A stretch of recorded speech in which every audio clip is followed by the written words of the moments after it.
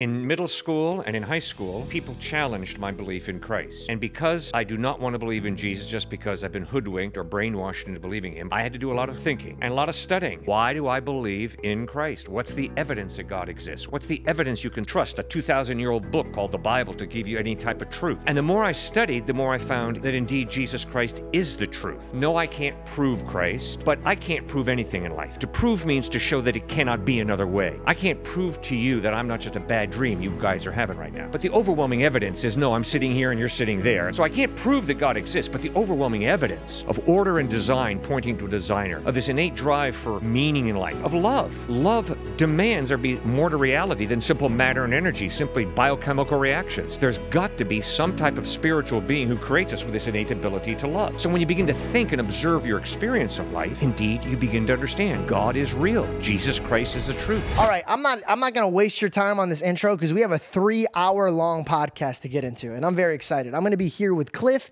and his son Stuart. Now, these two gentlemen go around college campuses and they debate. They debate in a loving way about Christianity and why Christ might be the way that you should head.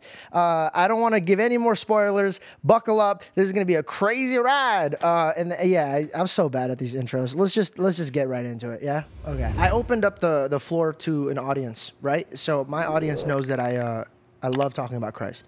Um, and before we go into this podcast, I want to describe how I feel this podcast uh, is going to go and who it's for. There's three types of man in my eyes. My eyes. Christianity is an invitation from God. And a man could look at it and go, Yes, I want to be a part of this. I absolutely want to be a part of this. And then there's another man that goes, No, absolutely not. I won't even, not even caring to realize what this is. I've read it. It's, it's hypocrisy. It's stupid. Uh, uh, it's sexist. It's racist. It's everything that I don't want to be a part of. I don't want it. Okay. And then the third man. And I believe this is the one that I pray to God that has our viewers, their hearts are open to. And this is what it is. I don't know what I want to do with this right now. So I'm going to put it right here and I'm going to get to it when I can. I want this podcast to be for somebody who hasn't made their decision yet. And I do have a bunch of beautiful questions that people uh, sent to me. But before we get into all that, I want to get into what possessed you guys to follow Christ full heartedly, to just give up your whole livelihoods to make it specifically for Christ. Um, Stuart, I know you're, you're following in the amazing footsteps of your father. Uh, I want to know a little bit more about you, and then and then we'll jump into the to the main man, uh, and then me and you could just debate about stuff.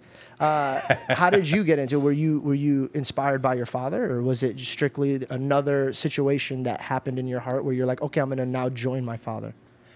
So in high school, I ran from anything related to you know, pastor or anything related to campus debates or anything like that. And I feel like I, I've heard you make nice illustrations where it's, it's sort of like the hound of heaven always is chasing you no matter what, no matter how hard you push against it. Yeah. God is going to be chasing you. So it's something like 75% of kids from Christian homes lose their faith in college because of certain groups they get into. A lot of professors are against the faith, but then it's like 50% that comes back. Yeah. Mm-hmm. And I love that it's the hound of heaven chasing them. I never fully gave up my faith, but almost to Get- the point of kind of the middle. I would love to ask you what was it that made Yeah. you because I'll, I'll, I'll be vulnerable first, so that way you're Yeah. not the only one. When I came out, uh, a different type of came out, homie. Like let's relax, let's relax.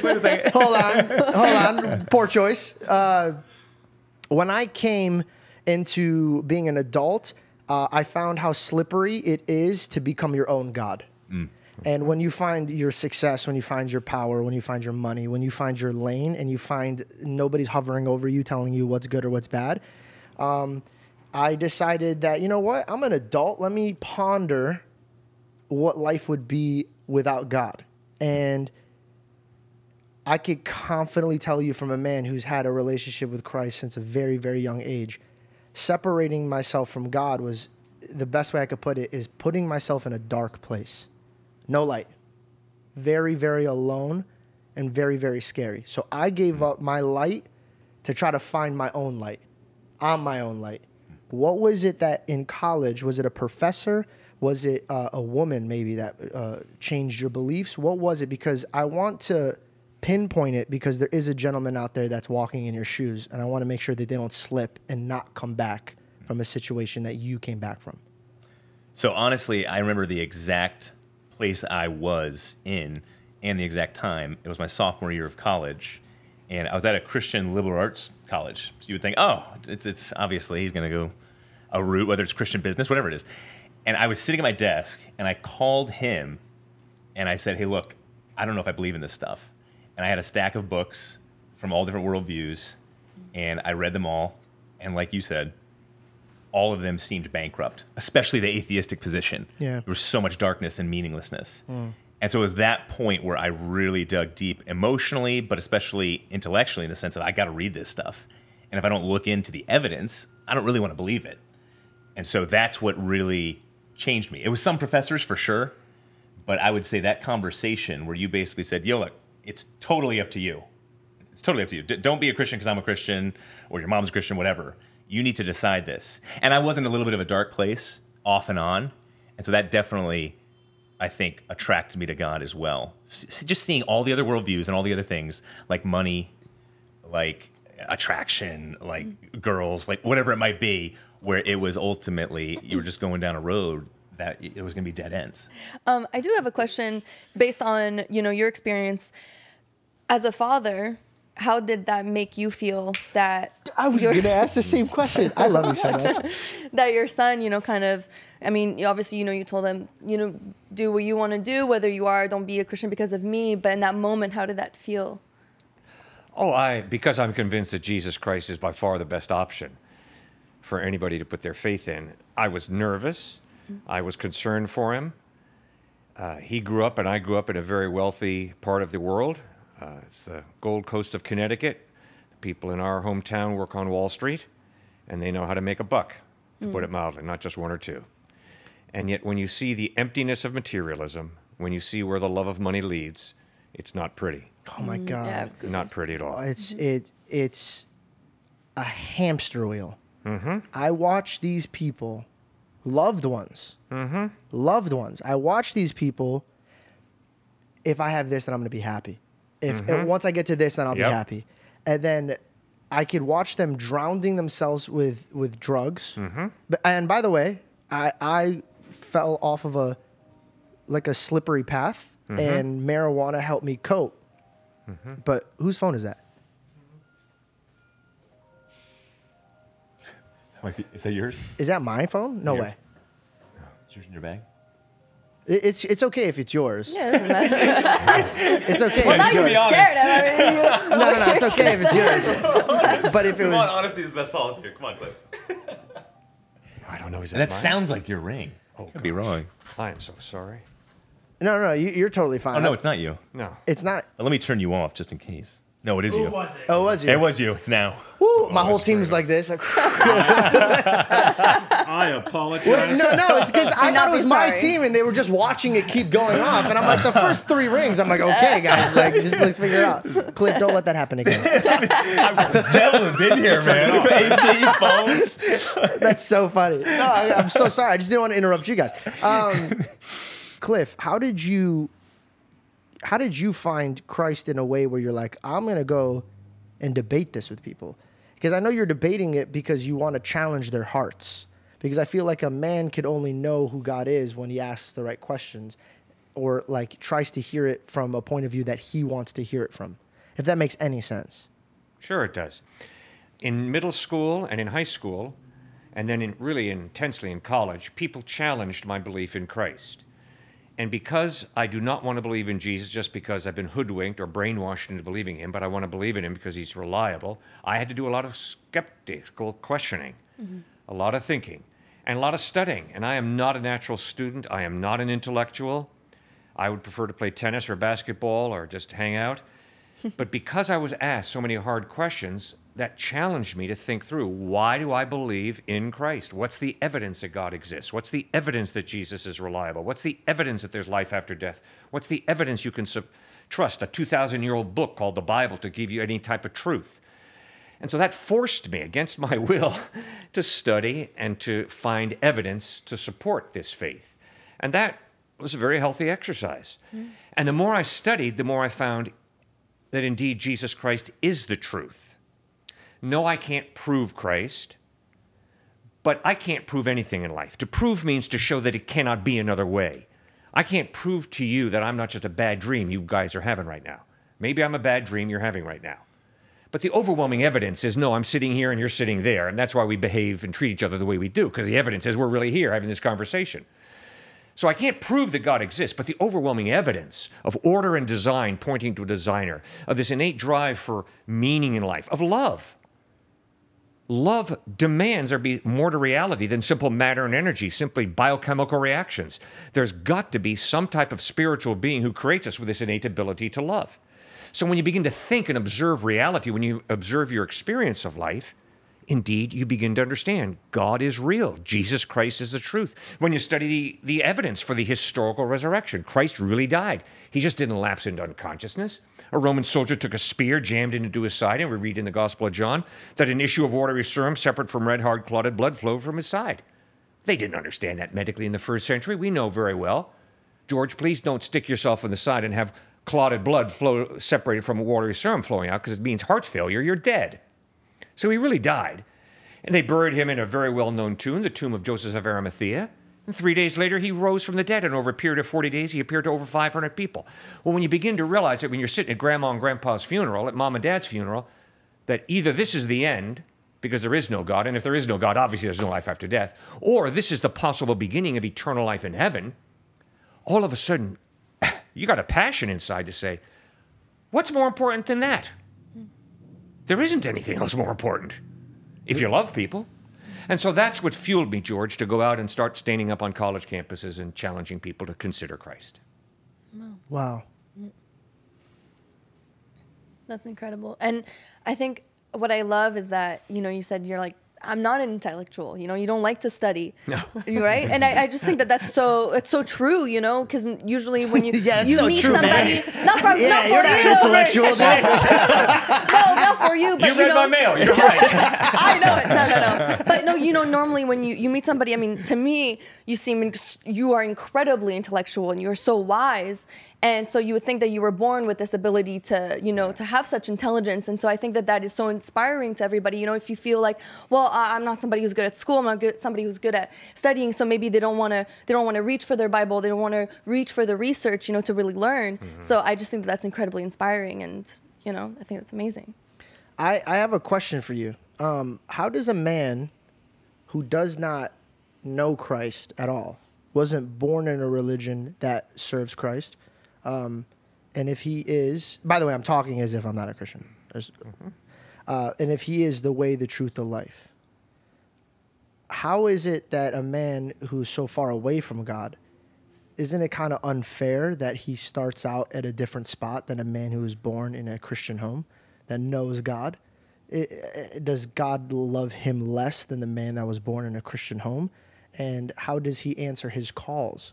I, I answer. I asked that because I was blessed to be in, in a Christian home, where my parents molded me as a child, and I find that to be the most important part of a childhood, and that's why I am very heartbroken to see what's going on in schools now, because we're forgetting that kids are empty vessels. When they're young, you could fill them into whatever. If I have a child here and I say, "Hey, shoes are God," this boy is going to believe that the shoes are God. So how is it fair that a man who is far away from Jesus when he's born, how what what's his relationship with God and how can he find God? The same way that a Christian man found God in a home where his mother goes, Christ is the way, the truth, the life. That's a very sensitive, thoughtful question, George. And you're right, it's not fair. You're absolutely right.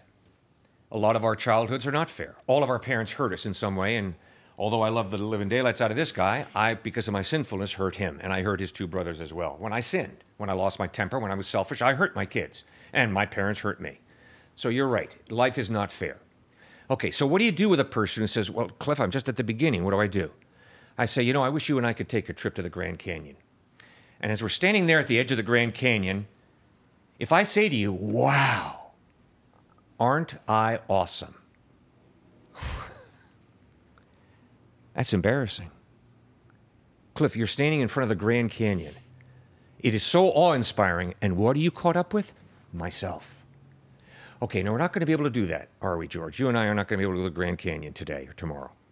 All we got to do is go out tonight when it's real dark. Look at the moon and the stars. Begin to contemplate the vastness of the galaxy, the vastness of the universe. Am I going to stand there and say, Wow, George, aren't I awesome? That is to part company with reality. Yes, we are awesome because God created us, and that's good. But there is something, someone far bigger than Cliffe, far bigger than all of us put together. And when you begin to contemplate that and allow the awesomeness of God, the awesomeness of the majesty of His creation to sink in, you're beginning to open up your heart to God. And then the second thing I would encourage people to do is read the Gospels. Don't start in Genesis in the Bible in the beginning. Go three quarters of the way through to the New Testament, the first four books of Matthew, Mark, Luke, and John, because that's the eyewitness account of Jesus of Nazareth. How he lived, how he treated people, what he taught ethically, how he died, praying, Father, forgive them, for they know not what they do. Man, I'd have been saying, God, nail those suckers for nailing me to a cross. Not Christ. He prays, Father, forgive them, for they know not what they do. But fourthly, and most importantly, in those Gospels, read about how three days after he died, he physically bodily rose from the dead. Now, this Jesus who rose from the dead said, I love you, God loves you. Guess what, George? If you die and rise from the dead, I will listen very carefully to everything you have to say because the evidence is you're in touch with reality. All right, that's exactly what Jesus pulled off. He died, he rose from the dead. And so when he says that God loves you and that God has a future for you that includes eternity when you put your faith in him and accept that invitation that you talked about so beautifully at the beginning of this show, wow, you let's open up and let's receive him into our lives as our savior and Lord. I love that so much. Hey guys, sorry to interrupt, but I know you guys have been seeing the Heart of David line that I dropped. Church Boy, this is the last week to grab it. So if you wanted to be a part of the first drop ever, make sure you hit that link in my description and grab your apparel today. And for those of you guys that did order from all of my heart, thank you so much. I love you guys. Uh, now back to your program. When I debate with um with fellow friends that are atheist or uh, in any other type of religion, I actually pretend uh, that my God is equally proven as much as their God. Because I think that my God is so mighty that he's going to open our eyes. Like if you truly call out to a God, he's going to open your eyes. And I remember when um, Jonah was uh, right before he gets swallowed by the whale. Uh, he, the sailors are freaking out because of the weather of the storm, mm-hmm. and they're running around. They're like, "Who cursed God?" And I found it so beautiful that everybody gathered and they prayed to their God. And so I take that example when I'm with a, a, a Muslim that I respect or with a, a Jewish man that I respect because I respect every man that I see.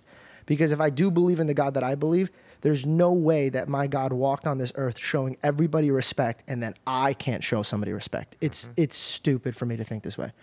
So after we debate or we have a, a conversation, and also with fellow Christians, I say, pray to your God and have him open my eyes if it be true. Mm-hmm.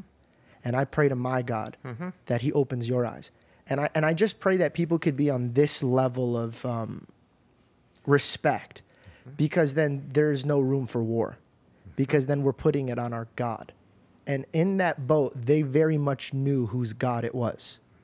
And I feel like that is where we need to play ball at, not I'm going to kill you if you don't see it from my point of view. but if your God truly exists, wouldn't you want it to leave it in his hands? Very hey, God, I, I love this man, Sam. I, I just, you know, he, he believes more in um, the Big Bang than he believes in you. I pray that you open up his eyes and heart. And I feel like praying for people and praying with people is not talked about enough. I believe that prayer is one of them is the most strongest thing on this earth. I think it really is. I, I, could show from an example of where my heart has been before and after prayer. I feel like in any religion, if any God that you serve, if he exists, why not talk to him about your friend not believing in him? Um, another question I wanted to ask you is what is it that truly brings a man into heaven? I grew up believing that you have to be uh, baptized to go into heaven. Um, and I want to get into baptism a little bit because it's something that kind of like freaks me out. Uh, because I was baptized when I was a when I was a baby, and when I read the scripture from my POV of what baptism is, I, it's like an engagement, like a proposal. Um, and if I was young enough and I didn't propose myself, does it count? Um, and then now when I'm reading the scripture, I truly feel like there was a Bible verse that scared me. And I want to get your guys' opinion on this. There was a Bible verse that scared me more than anything. Like I asked her, I would walk around this neighborhood crying because I was like, I'm gonna die. I'm gonna die forever because of this Bible verse. And it was the Bible verse uh, that goes, Many will come to God and say, Have I not prophesied in your name? Have I not casted out demons in your name? Have I not done this and this and this? And God looks at these people that did his work and says, Be away from me. I never knew you. Forever. And in my mind, I go, Well, these people dedicated their life to him. And they're like, See ya. Who am I, a man who just goes on YouTube and talks about God, sins every day? I, I'm sitting next to my girlfriend and we're not married. We fool around, Cliffe. I'm not proud of it. But we do, we sin. So if these guys are doing this and they're being pushed away, then who am I to be even welcomed into the kingdom of God? And a man explained it to me this way. He goes, because they came with a list of what they did. And the truth is, whatever I do here is not even worth it. And if we're going to measure my worth of going into heaven off of what I've done, it's not going to cut it. If you come to God knowing that the only way that I'm coming into the to the pearly white gates of heaven is that I fully with my whole heart realize that when God looks at the cross, he sees my sins. And when he sees sorry, I messed this up. I truly believe that when I go to heaven and they ask me what makes it worthy for you to come in, it's the answer is I'm not. And that he died for my sins. And that also opened up this beautiful avenue in my heart to realize that sometimes as a human, I don't know if I'm doing things because I'm just trying to get into heaven or because I truly love God. But when he just said, if you believe that I died for your sins, and that is the reason why you are able to come into heaven, then all of the good deeds that I do, all of that, I'm not doing it to get into heaven. That's not what gets me to heaven. It's, I love Christ so much that he died for me. So I'm not going to waste this day being a piece of crap. I'm going to try my best to be the best that I could possibly be for a man who dedicated his life and sacrificed it for me. My works are nothing. I could spend every day being a monk and it still wouldn't be worth me going into heaven. That gave me so much freedom to realize that my sins and the good deeds that I do are not the measurement of what brings me into heaven. It's solely off the fact that I believe in a God that outweighs my sins is this wrong for me to believe? Or is it that you have to get baptized? You have to do all of these things. What is it, in your point of view, that brings a man into heaven? Yeah, I, well, it's amazing that you hit the cross and you got it so right because that, even for us, you after 69 years, am I allowed to say that? And 35 years, we still have a tough time communicating it on a university campus or debating with a professor online. Like it's hard to communicate for that person to really understand it. At one level, it, you can communicate it to a six-year-old in, in some sense. Like Jesus died on the cross, took your sins, and so now you can live in total freedom and love for Him, for humanity, and a response and type of, of forgiveness as well. So, so I thought you explaining it, it, it's so rare to hear that, so rare, especially in this culture because the cross is looked at as a bloody, dirty thing that nobody really wants to, to touch. So, so that's a big piece of it. I, I, like where you went scripturally as well in terms of Jesus is going to look at people and say, You're just going to have to get away from me because you did it with a certain motivation that wasn't out of humility and understanding that grace is really it. That what he did for us should be the motive, everything for him, like you were saying. And so, what what you brought up earlier in terms of some of those friends, and probably speaking to this guy who you were speaking to, when you said I think what you said was they try and show that they have a certain level of money that they don't have, and they put on a, a serious type of act, and it leads to things like depression and anxiety. I see that connected to exactly what you're talking about because these people are doing good works. Look no further than the Pharisees, right? Pharisees were t- they were giving away more money, I think, than your average Christian, right? And I think they were also doing more social justice work. And yet, what does Jesus say? He says, inside of the cup, their hearts are just completely filthy and rotten. And but the outside, it, it was beautiful. It, it, was completely gold. So that's kind of a piece of it. I, I whenever we do we do confirmation for kids, and so it's simply a matter of it's not infant baptism, but it's a matter of an outward expression of an inward decision, where Christians can say, "I'm going to come alongside of you, hold you accountable ethically, and then encourage you." Mm. And so that's what we see baptism as because uh, the, the, the, ultimate word we're looking for here is works righteousness, where it's I got to work my way to God. Yeah. Instead, it's God worked his way to us. And Keira Knightley, when she says that it'd be so easy, she's an outspoken atheist. And when she says it'd be so easy to be a Christian, because I would just do whatever I want and then ask for forgiveness. Yeah. That's not obviously it. What you were saying, uh, you put it, again, you put it well, George. It's the faith and the works piece. You have faith, but then you back it up with the good deeds. And would you say that it's kind of the difference of sinning and you know feeling guilty about it and realizing what you've done wrong and being like like having true regret about your sin versus doing the sin and being like eh well i mean you know it's not that bad sorry right i think he weighs the heart right like what you truly reflect on. And and i think too in what you brought up because we were talking about this recently and it's actually something that i recently learned that question you know when god asks you like why do you think you made it to heaven? And it's not about you right? It's about what he did for us. And it's something that kind of almost took off this weight of when you do a good deed it's it's it's not coming from a selfish place. And it's truly coming from a place of just like thank you god. Thank you jesus for what you did for me. And and and I'm grateful to be here and I love you and I want to show you my love, my appreciation and so therefore I'm going to do my best to show that to the people around me and and to be the best that I can be for you. I got to ask you something else that's like um I'm just going to dig if you guys don't mind. Uh how is it fair that a God who knows all, who sees all, sees a man who does not believe in Christ? Because he wasn't raised to believe in Christ. He's in a country where he can't even know God. I know that there's a like is it North Korea? North Korea changes their Bible. It's illegal to have your own Bible. Um, there's positions and places in the world where they cannot reach Christ. But they're the ones that are doing good work when no one's looking. They're the ones that are helping their neighbors. They're the ones who are doing acts greater than Christians that I see at church singing and praising God. But he passes away, never knowing Christ. And he never goes to heaven. How is that fair if there's an abundance and an almighty, merciful God? If I'm George Janko and I find that to be unmerciful, how is it fair and how can I convince a man to follow God if this is the direction that the Bible is explaining it to me?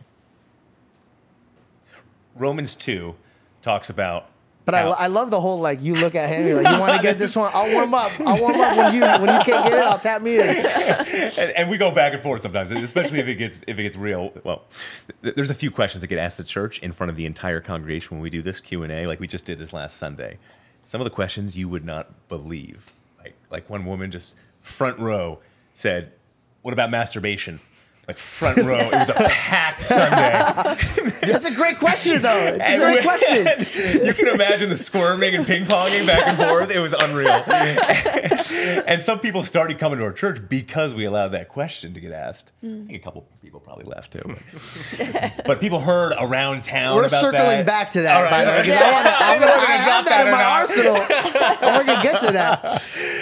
Just a quick fire. Uh, something that really helps me with that good question because that's one of my toughest. That's on like the top three for me for sure.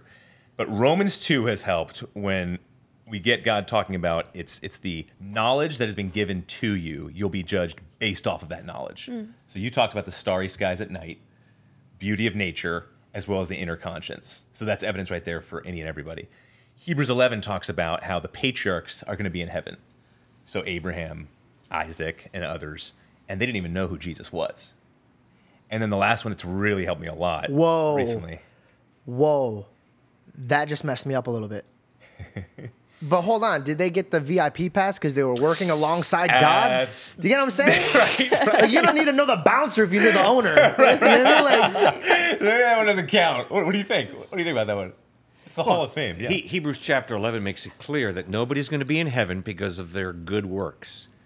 Instead, it's because of their faith. And so Abraham, Isaac, Jacob, even the Rahab, the Gentile prostitute, had faith in God. In other words, they responded to all the light, all the information that God gave them in humble faith.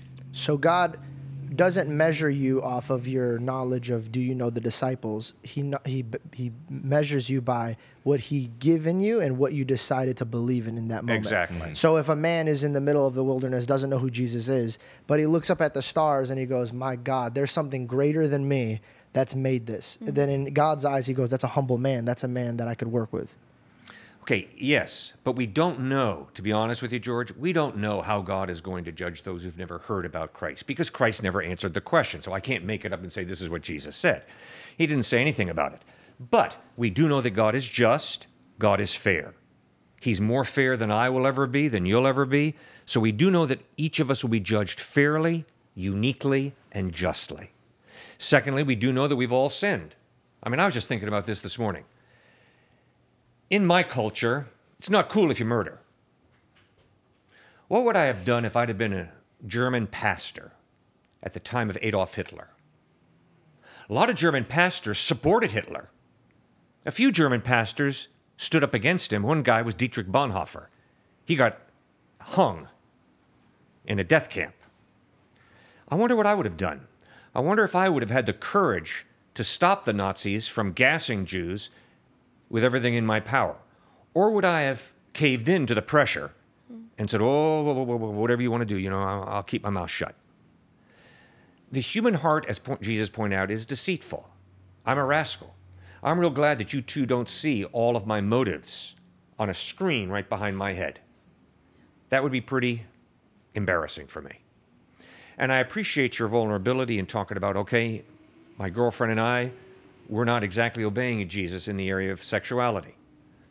I respect that highly. That's vulnerable. That's honest. But it's wrong.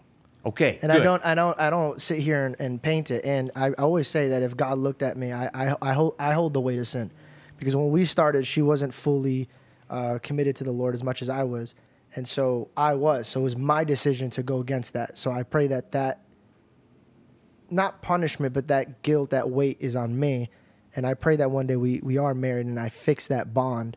Um, Beautiful. I I just know that there's a man who sins and says, "Nah, it's not that big of a deal," and I tell people it's a very big deal. I, I made a mistake. Good for you. All right. So Jesus is dying on the cross. Two thieves are hung on either side of him. First thief turns to him and says, Come on, miracle boy from Nazareth, get us off these crosses. And then, based on that, I'll believe in you. Come on, little miracle dust, Jesus. And when I see it, I'll believe. Second criminal turns to the first criminal and says, You idiot. We're dying here because we deserve it. But this Jesus, he's the innocent, holy, pure Son of God. And the second criminal looks at Jesus and says, Lord Jesus, remember me when you come into your kingdom. And then today he All right. was. Now, Jesus didn't say, whoa, whoa, whoa, time out. First, you got to get baptized. Then, you got to work in a soup kitchen. And then, you got to give all your money or half of it to the poor. And then, you got to genuflect. No, he didn't say that. He looks the guy in the face and he says, I tell you the truth. Today, you'll be with me in paradise. Okay, so that's grace. Okay, he didn't deserve it, but he trusted in Christ. Christ forgave him and gave him eternal life.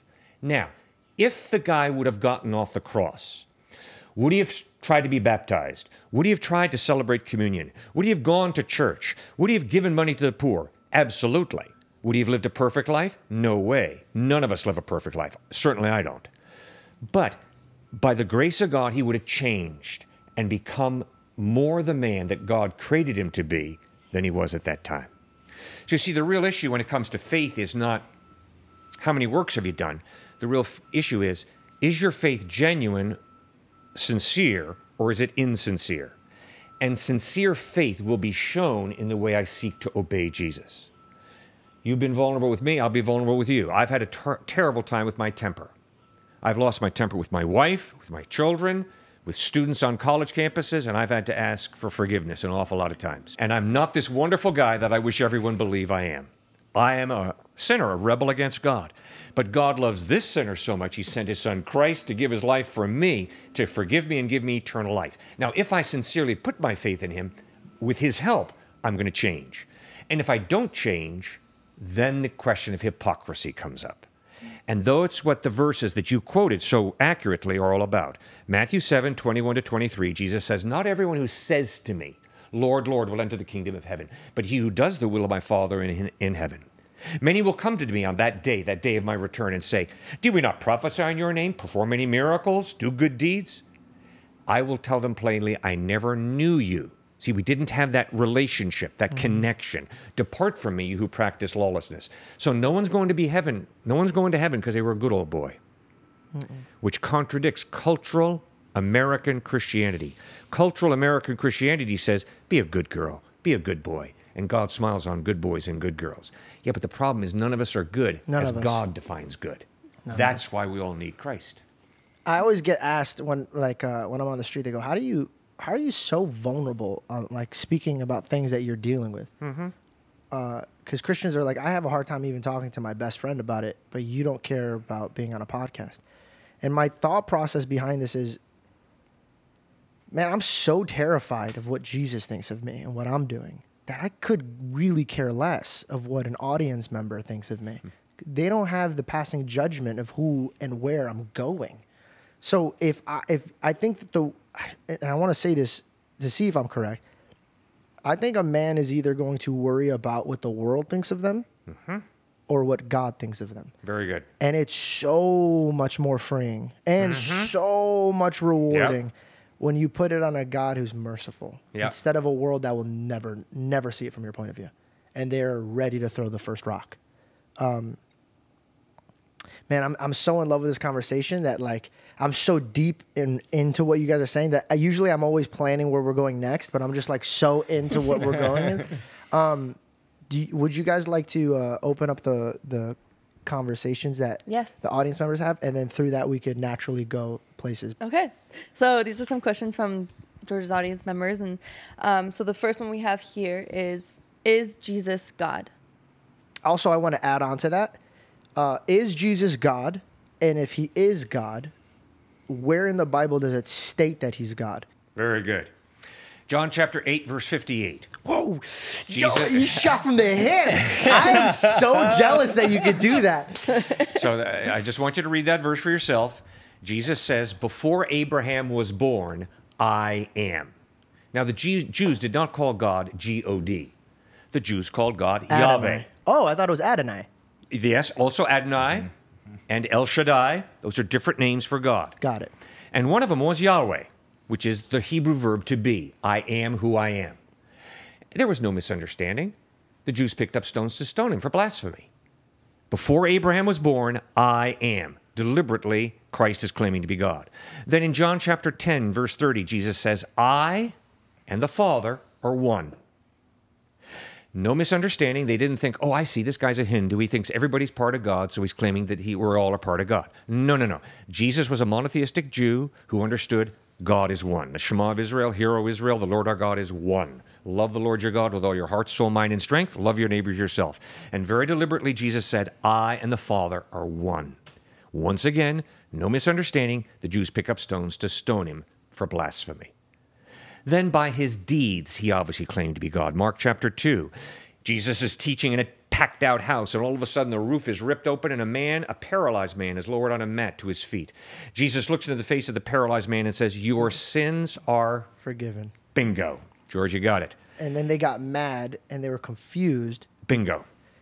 And I found that so beautiful because he was trying to weigh that forgiving sins is way more powerful than raising a man who's crippled. Bingo. Precisely. You got it. By claiming to forgive the sins of a man he'd never probably seen before, Jesus is claiming to be God. Because only God can ultimately forgive my sins. If I do you dirty, yes, I have to ask you for forgiveness, but ultimately I have to ask God for forgiveness because when I do dirty to you, I'm saying, hey, God, when you made George, lousy job. I can trample all over him. Baloney. When God made George, he did a wonderful job. And if I denigrate him by tap dancing all over his face, I am guilty and I need to ask George for forgiveness, but I also ultimately better ask God for forgiveness. This video is sponsored by Cozy Earth. Cozy Earth is a premium bedding and loungewear company. I'm actually wearing their loungewear right now and it's super comfortable. This product is made out of fiber from highly sustainable bamboo called Visco. Temperature regulating so you sleep comfortably year round. Enhanced wavy quality that won't pill. Cozy Earth also offers a 10 year warranty on all of their products. And also, they come with thousands of five star reviews. If you're anything like me, you probably run hot when you sleep. And, and, and if you run hot when you sleep, you're not getting any sleep, right? Because you're uncomfortable. Fun fact we sleep one third of our life. So if you want to get cozy earth type of sleep, use my discount GeorgeJanko35 or just use the link in the description and uh, enjoy a nice sleep on me. From you to me, or me to you. Let's get cozy.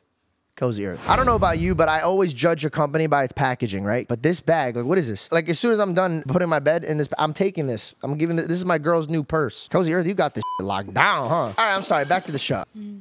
Wow. We talk about that all the Beautiful. time. Mm-hmm. When we uh before we ever ask anybody for forgiveness, we I always say go to their go to their owner first. Very good. Mm-hmm. So I asked that because here's here's the, the reason why I even bring it to God first because first of all asking somebody for forgiveness is possibly one of the hardest things to do. Mm-hmm. You have to humble yourself into realizing you were wrong. Um, and so I, I always ask God to forgive me one for quite frankly, forgive me for my language, shitting on his image. You know what I mean? Like, Yep. that is his image. That's his child. That's like if I go to somebody's son, I'm like, yo, you, you're cool, dude, but your son's an asshole. Like, that's crazy to think. You can't Yeah. disrespect somebody's son Yeah. and think they're going to be like fine with it, right? It Yeah. can't. So I ask him for forgiveness. And then I ask him to put, uh, uh, to comfort the man that I'm about to go to's heart. Because maybe he's not ready for my, for like, hey man, I'm sorry. Because some people are like, not piss off. I don't want to hear your apology.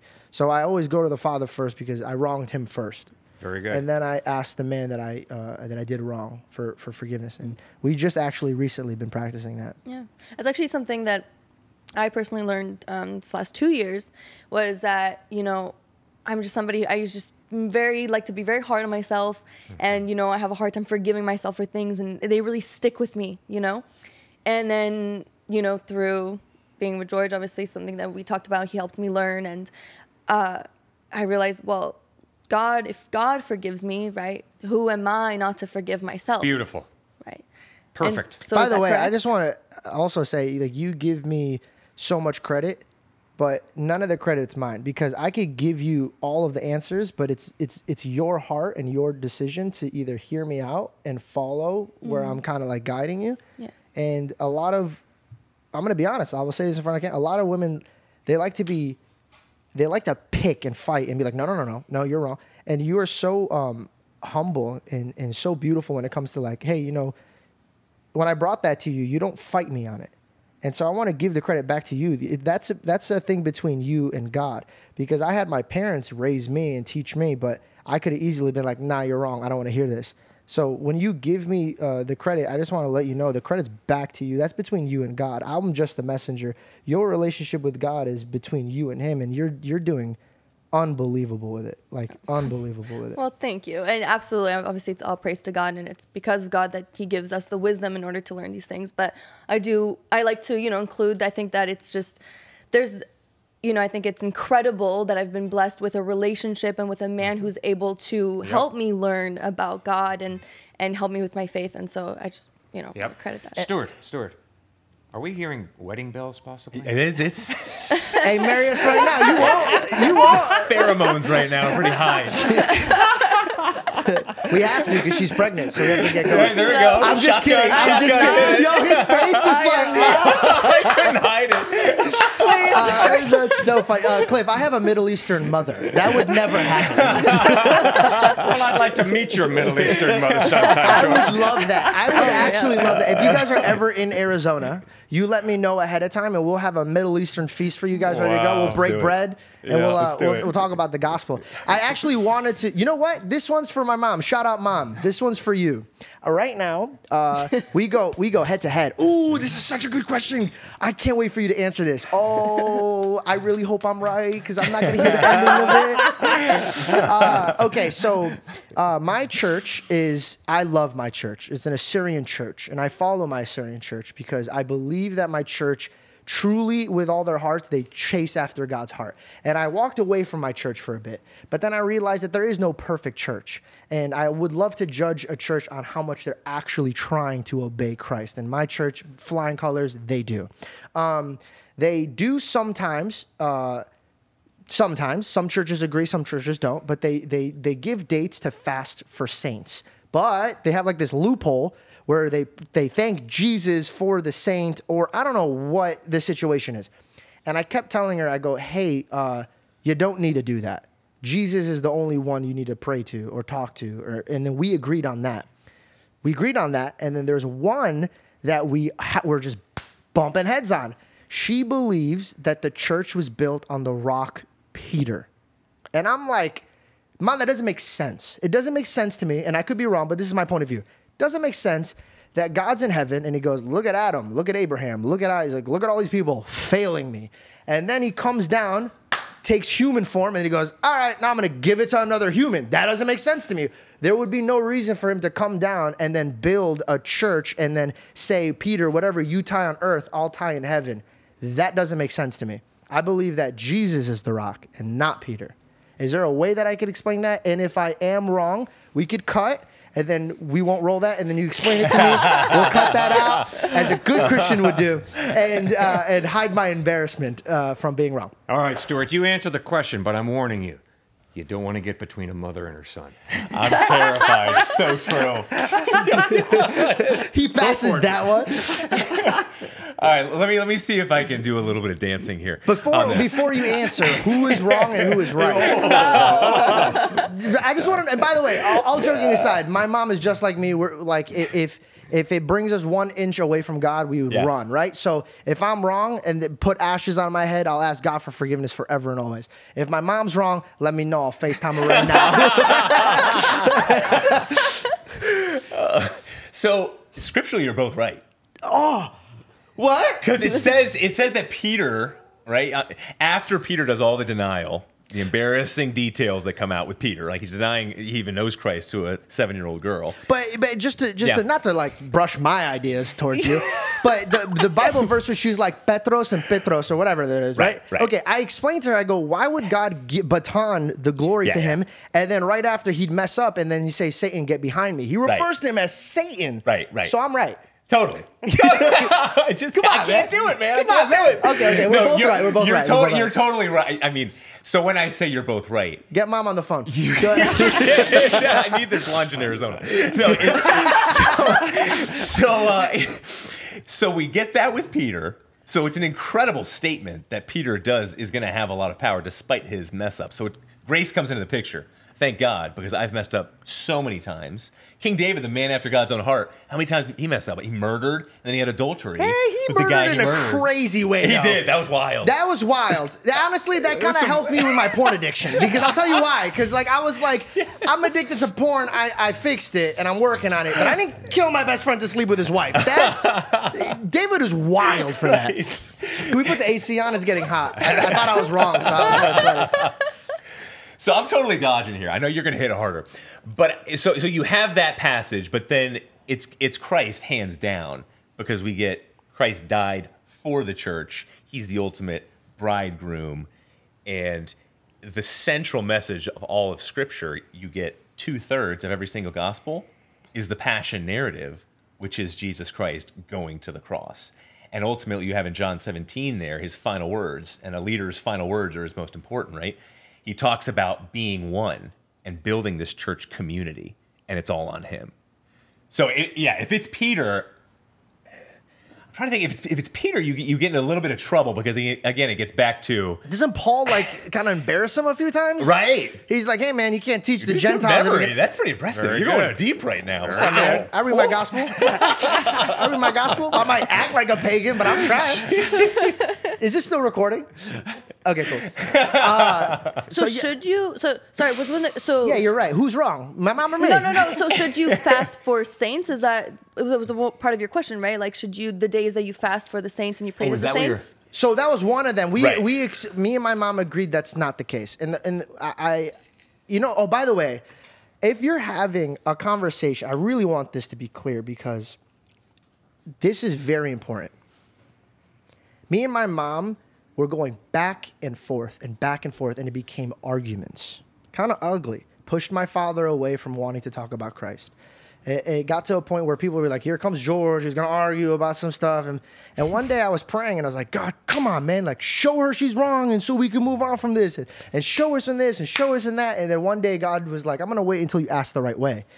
And then I said, "God, if it's me, let me know." And God goes, "You can't, you can't talk to your mom like she's your daughter. It's not gonna connect with her.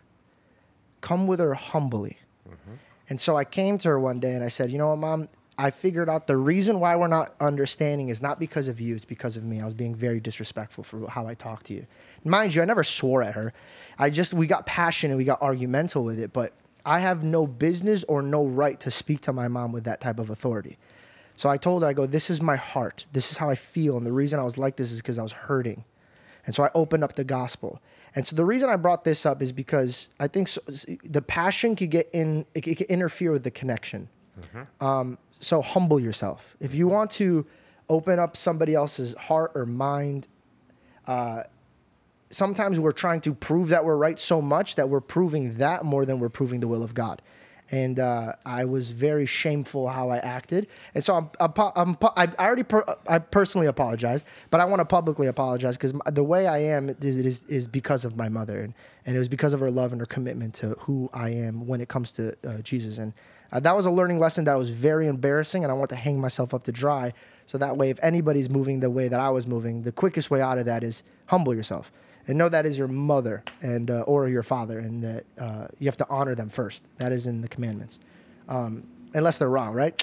I'm just kidding. I'm sorry. I have to add comedy because I'm just weird like that. George, that was absolutely beautiful. Yeah, And, and yeah. you and I are very similar.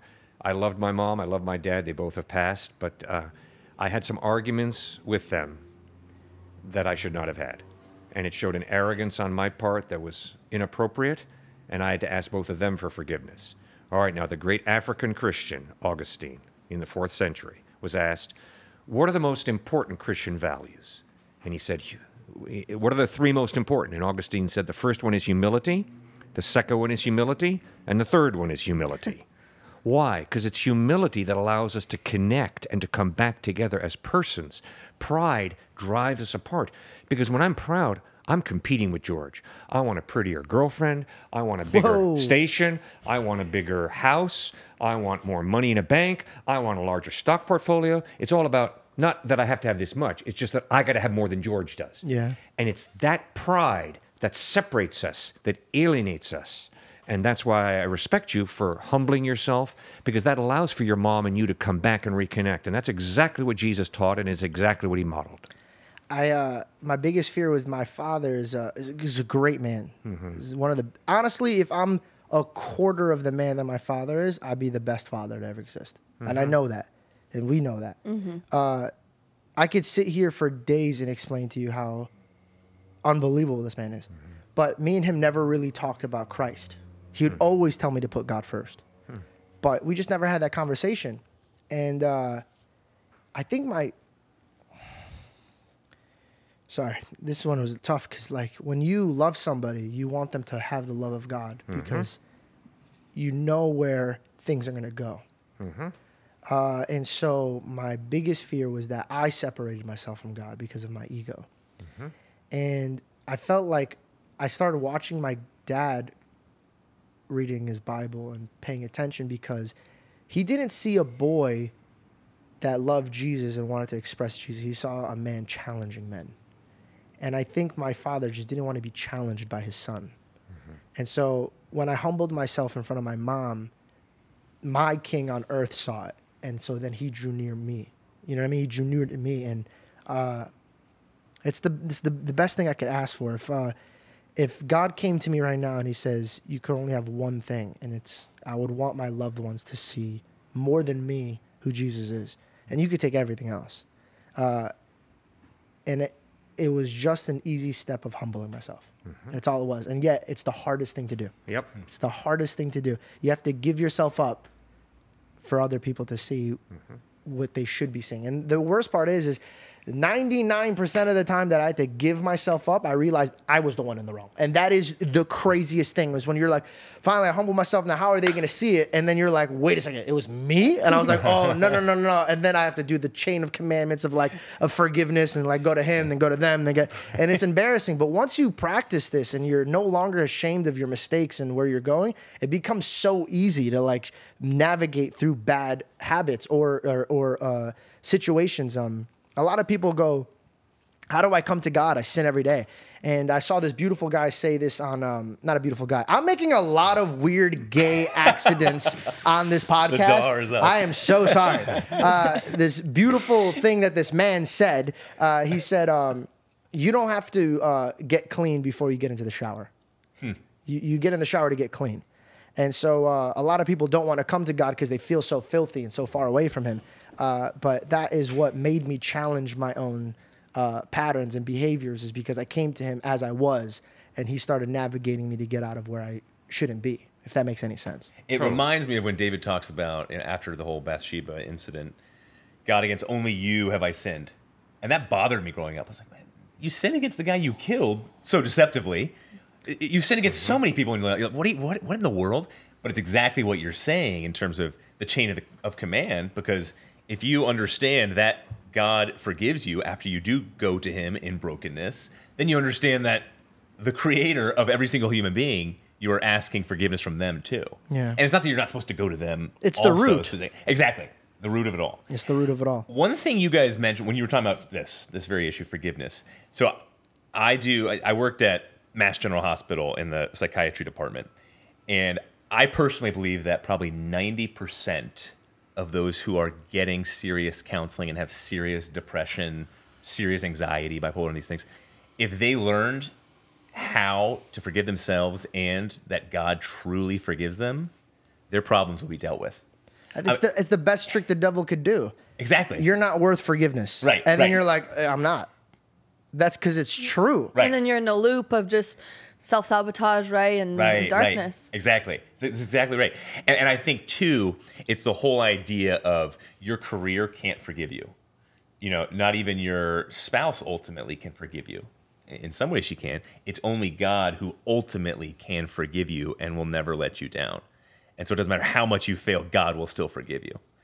And, and I think for me, that brought so much emotional freedom in my life. Still accountability. I'm not saying I can Of do course. whatever I want. But also you're grateful, so it makes you work harder to like Yeah. uh, be a better person. Right. And also it negates the fact that people are like, you're only doing it to get into heaven. It's like, well, no, if you know the scripture, you would know that's not true.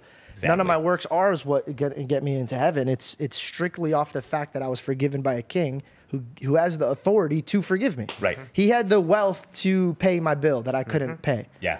Yeah. Let's get to a, another question. Okay, so we have another question here from somebody, and it says, How do I find the signs that God is guiding me? How do I follow the path He is laying out? Ooh, can I answer this one? Yeah. friggin' I'll shoot from my hip right now. if we're gonna go scripture, cursed are the ones who wait for signs, right? So you can't be looking for a sign. I think the only way to find God is the way you would find a human being, right? You have to build a relationship with them, have a conversation. And if you're the only one speaking, mm. and not only the other ones speak, you're never gonna hear them. So I think that studying the scripture, the way that you said, mm-hmm. from starting from Matthew's on, you get to know who you even want to worship first. Don't play games. I say be honest with yourself. Read the scripture. See if Jesus is somebody you even love. Because you can't have a relationship with something you don't love. If you don't love Jesus, then there's no there's no hope in having that relationship. I know so many people that are in relationships that don't love each other, and it just doesn't work. So I think the the the, the waiting on a sign is is pointless. I think that, that that's what he means by being cursed is that you're just endlessly just going to be waiting there. I think the best way to have a relationship with God and the the the fastest way to have a a connection is maybe stop talking as much and listen a little bit more. Wrong? Mm. Very good. What would you say, Stuart? Yeah, I see so many Christians who are just stagnant. Exactly like you said. They're just waiting for a sign and it never really comes. And for me, I usually counsel them saying, just take that first step. Just take the first step. And if you fail, Mm. What would the fail first upwards. step be? The first step would be if they are literally waiting. So, so sometime we just had not too long ago a woman waiting to hear from God whether to move across the country or not. Oh, that's a great example. And she just kept waiting. And I said, Well, look, pray. You were saying prayer earlier. I mean, the vast, the vast amount of the world prays. So you got to be in prayer. Then you got to be in Christian fellowship, giving you some type of guidance, whether that's family, you know, a Christian family, or and friends as well. So prayer, fellowship, the word. I don't like the whole idea where some Christians flip through the entire Bible and just kind of like put their finger down and land on something, and they're like, hmm. "Oh, that's what that's what God's telling me to do right now." But that's also looking for a sign. Exactly. Exactly. So I think in the word, in the sense of growing in wisdom, like if you're in the word, it's impossible, at least in my mind, the studies that I've done, to not grow in wisdom in making the right decisions, like hmm. moving, like entering a, a certain career path. Like it's just impossible because the Holy Spirit, God moves in that kind of way. I So think those- they, those they be need to dig deep. Mm-hmm. Like Yeah. I would just, i- i it's it's way it's way deeper than waiting for a sign. Why Right. do you want to move? Right. What's it for? Is it going to benefit you, or do you know it's not going to benefit you? Is it a selfish reason? If it's not a selfish reason, there's so many more questions to why you should be moving, and I think the the the scripture there's so much wisdom in. it. I think Proverbs has helped me with my career more than anything. Um, I just I think I, I guess the best way, for, like I, I just I just don't like when people wait for a sign. For example, my whole life, uh, people are like, "Well, you're trying to be an entertainer, bro. That's evil. That's like in the evil world." And I'm like, "Well, no, I, I don't have to be evil to be in that world." Um, but I didn't wait for a sign. I felt something in my heart, and I said, "God, if this is something you want to be fruitful, let's rock it out together. And if it's far bad for me and it takes me one inch away from you, oh, I want it so far away from me that I don't even want to see it with my eyes. Um, but I work at it. And if God doesn't make it fruitful, then I'm like, okay, cool. This is something He doesn't want me to be a part of. Let me go and change my avenue. But a lot of people are like, well, it's in my heart. I'm like, well, God created your heart. So have you asked Him what your heart really wants? Because four years ago, I didn't want what I want now. And a lot of people are chasing what they want so much that, like, this is how I, this is like an easy way of putting it. If I have a Ferrari, I'm not taking my Ferrari into Honda and asking them, hey, what's going on with my car? I'm going to take it to the creators of Ferrari and be like, yo, what's going on on the inside? And so I go to the Bible to figure out what's going on on my insides, to figure out what is is is what I want selfish. If it's not like I told her, I was like, should I be walking away? I love Christ so much. I love talking about it. Should I go start my church? Or should I go start preaching? Should I go do this or do that? And I melted down. I'm like, am I in this industry because I'm selfish and and then the money's here? But then she's like, no, you turn away from money for this. And then I'm like, okay, well, what if it's the the passion of being uh, famous? And then uh, and then I realized one day, you know what? God created me to be an entertainer and speak as long as I put him first in any direction I'm going, I don't find it being evil. I find it walking with God in the industry that I'm in. And not to put you on the hot seat for a second, because this is your show. I'll But cut it. I, but I've been. This is no flattery. This, is serious encouragement because it, really has inspired me to think through things. In, in my, I guess, in my career, it's a little easier. But yours, you know, it's like Daniel and Nebuchadnezzar's courts, right? Some people would be like, so. So we have a friend who, one was the publisher of Condé Nast, or the editor, and the other is the publisher of GQ, right? And so they're very similar in the sense of what they're going to be dealing with. Like they're strong Christians, but how do we think through these moral issues as we go about publishing and editing? For you, and they did something similar. You know, when you're at, you feel like the peak. How did you get to the point of saying, no, I'm going to sacrifice this? I think God's calling me to sacrifice it. Are you sacrificing it because you feel the tug of God saying you're doing this for the wrong reasons? Or is it more so encroachment from the outside saying you're, you're dirt in this kind of way because you believe this, because these are your convictions? Now you have to bend towards our will or, or you're out. And if you had to decide right then and there, which, which was it? Because Oh, easy, easy. Yeah? I have an easy answer for Yeah. that because my mom prepped it for me when I was a kid. My mom always knew I was gonna be an entertainer, so she used to always like when a when like for example like a Chris Pratt back in the day would like thank his God, right? She would pause it and make me watch it. She goes, "Look, he's in this industry. He didn't give up his God." Mm-hmm. And when I came here, we all as a family prayed that if it takes me one inch away from God, that we want it miles from me. So my mom used to tell people, I didn't send him alone, I sent him with God. And then, yes, you're right. I came into a place where I was like, okay, I'm obviously going to piss a lot of people off. Um, and maybe this direction is going to make me less famous or maybe the money's going to go or maybe this is going to go and my mom used to smile look at me and she goes you're an, you're an entertainer so I'll, I'll put it in this terms for you when god says action who has the ability to say cut and so i go into any room in any industry in any way shape or form and i know that their master is my master so they're not going to tell me how to run my life and they don't have any ability to crush me and I will walk in any direction. I'll be more fruitful than you could ever imagine because my God waters my plants, not Satan, not your opinion of me, not anything. This whole community, this whole this whole entire Los Angeles department could go against me, and I'd sit here giggling because they have no idea how great my God is, and I continue having that attitude.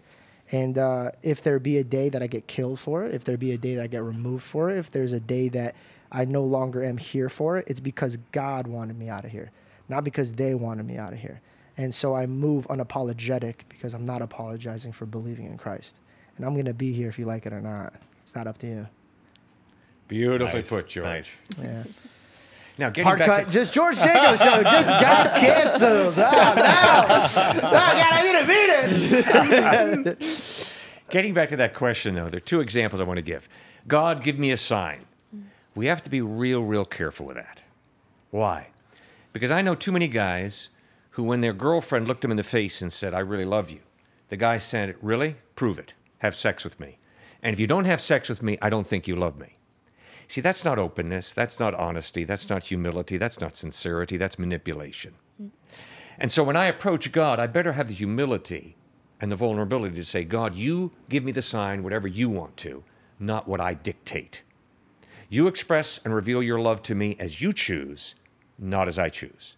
Okay, that's in the emotional realm. Now let's go to the intellectual realm. All right, God, I can't believe on you unless you scientifically prove yourself to me. Do you realize how ridiculous and dishonest that is? What color is the note C? What? Middle C doesn't have a color. They're different categories. And if I'm going to say, unless I can see God, hear God audibly, touch Him, smell Him, taste Him, then there's no God. I'm mixing my categories. I am demanding that a God who is spirit reveal Himself physically right here, right now. That's dishonest.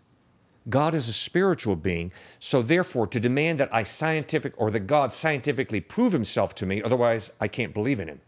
That's mixing my categories. It's making a big intellectual blunder behind the sign of behind the statement, I need a sign. Give me a sign. I.e., what I want is I want a scientific proof that you exist. Sorry, God doesn't limit himself to a scientific proof. He's a spiritual being. It's intellectually dishonest to demand, God, you give me a scientific sign. Does that make any sense? Oh, of Yeah, course. definitely. Also, that falls in the category of humbling yourself. Correct. Who are you? Bingo. This is what I talk to people when they're like, "Well, God has to come and show Himself to me." I go, "Listen, buddy, let's make this very clear. if there was a king that uh-huh. ruled this whole world, Yep. you have the balls to Yep. stand up in front of him and being like." All right, this is. I want to know the facts of what you're running your kingdom, and this. This is what poof, you're gone. You're dust. Yep. Like with this, you're dust Yep. you're not going to have that same energy if he takes the form. I believe that the God that I'm going to worship is going to be so big that my brain can't even comprehend it. That's right. So I'm going to come at it as this ant is not going to comprehend my life. Mm-hmm. My dog is not going to comprehend my life. So who am I to ask God to prove it to me? No, no, no, no. I'm going to worship you because I have Mm-hmm. no ability to understand who you are and how great you are, but I see the effects that you cause. Mm-hmm. And I know you exist because I searched for you and I saw it in my heart. Mm-hmm. But I came humbly to see you. I know that if a God's sitting on a throne in heaven, the farthest people from me are going to be the ones that are going to ask me, "Hey, you come and show me." It's like, "You come and show me, buddy." you die like name me the biggest famous person you know. Name him. Brad Pitt. He when he's dead, 50 years from now, no one gives a shit about Brad Pitt. Mm-hmm. Nobody gives a shit. No. Sorry for my language. Oh, wait a second. My wife uses that word, the SH word, and she wanted me to tell you it's all right.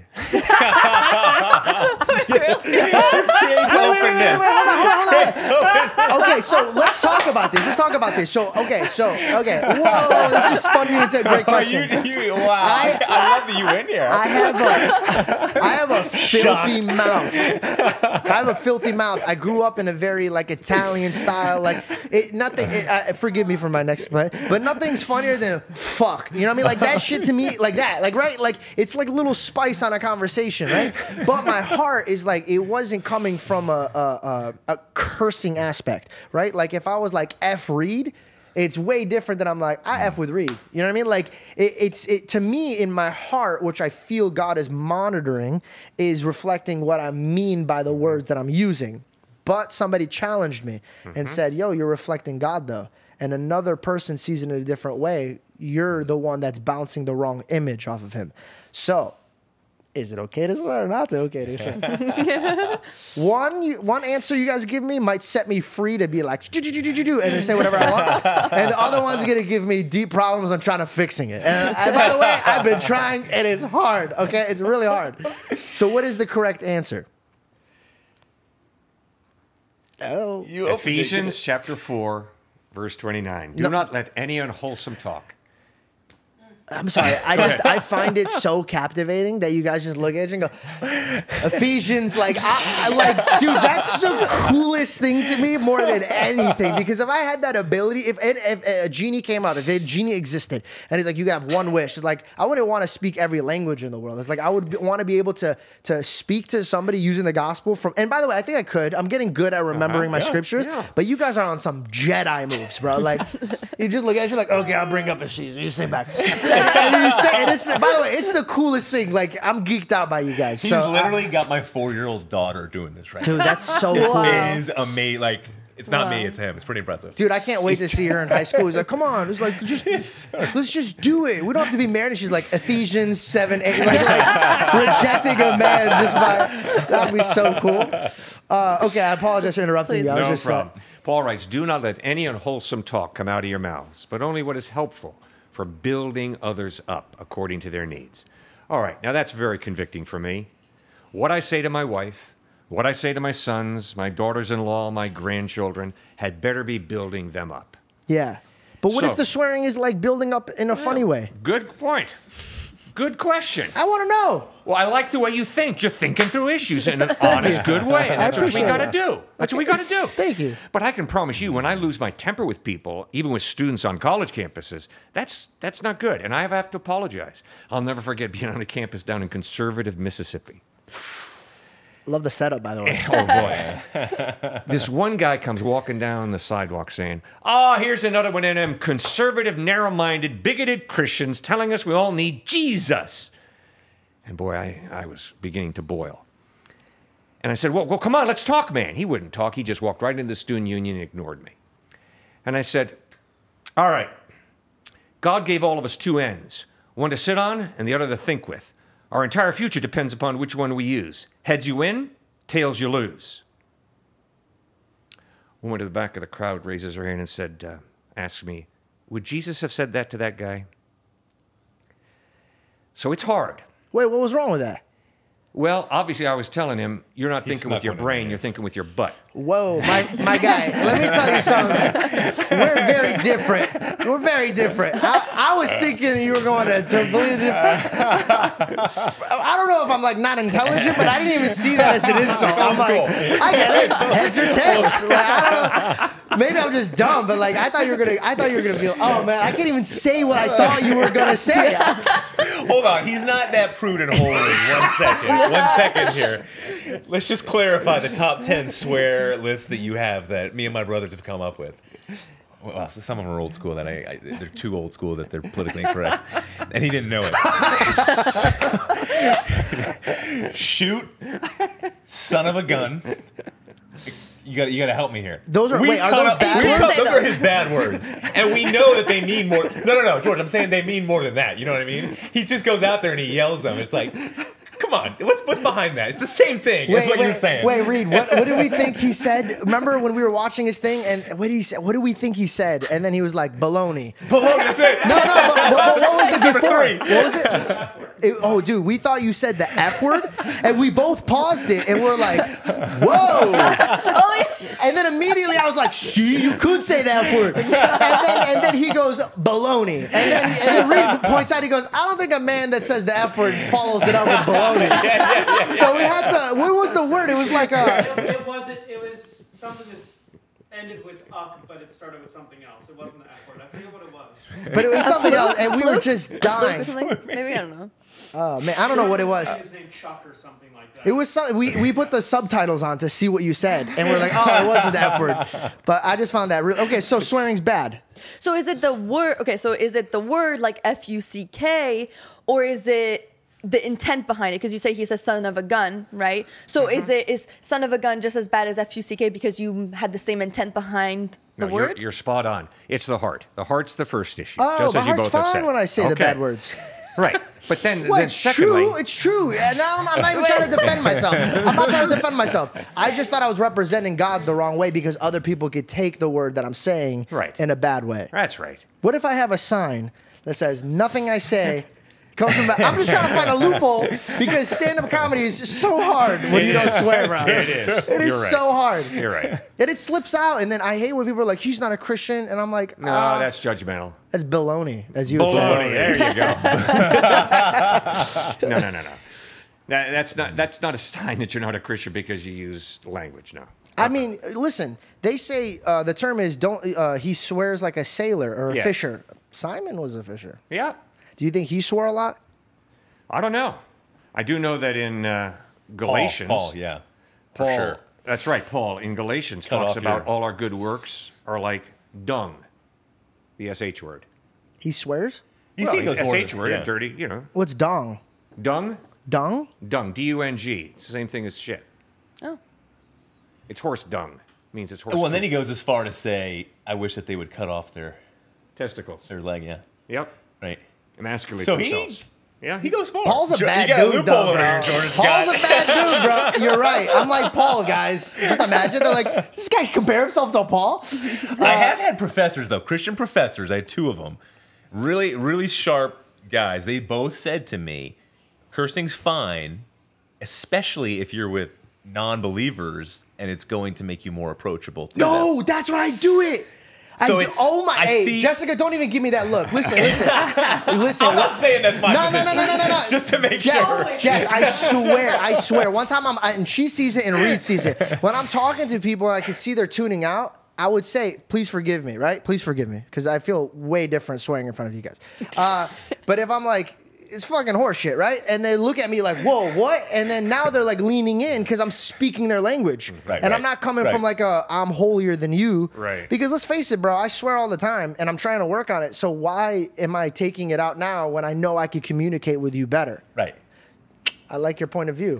Let me tell you something. You're gonna get drilled in the comment section because nobody's more Christian and holy there now than the comment section. Right? They'll come after you. Uh, okay, let's go to another question. Yes, I'd love I'm having such a blast, by the way. Oh, it's great. So are we. Let me know when you guys want to leave because you're not leaving until you guys are ready to go. okay. Well, you know, from somebody. So, how does God make the island boys rich when there are starving kids? All right, it's wrong to think that because a person is making a lot of money, God is blessing them. We live in a world of cause and effect. We live in a world of chance. And some people make a ton of money in some very immoral ways. And that does not mean that God is blessing them. It means they're shrewd, probably. They're also lucky, very lucky. And it points to the unfairness of life. Some of the most Christ honoring people I know are struggling with poverty, and it's tragic. Second point Jesus Christ commands us as his followers to be generous, very generous.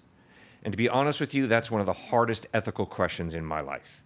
I was speaking at Harvard, and a student stepped out of the crowd and said, uh, You know, Cliffe, you got it so easy. Every time you need to make a difficult ethical decision, you just go running to your magical book, the Bible, and there God tells you how to live your life. I, as an atheist, I have to existentially struggle through difficult ethical questions. I looked that student in the face and said, You got to be kidding me. My wife and I are building a house right now. In light of the fact that people are starving to death today, and in light of the fact that we have the solution for that starvation, give money to buy food to feed those starving kids, am I supposed to buy this kind of appliance for my house or that kind? Uh, does the Bible tell me whether to go out and buy a Kenmore or a Westinghouse dishwasher? How much money am I supposed to spend in my car? And if you think I go running to my magical book, the Bible, and there God tells me to get a Kenmore dishwasher, or to buy this type of car, or to buy a used car instead of a new car, you're crazy. The Bible doesn't say that.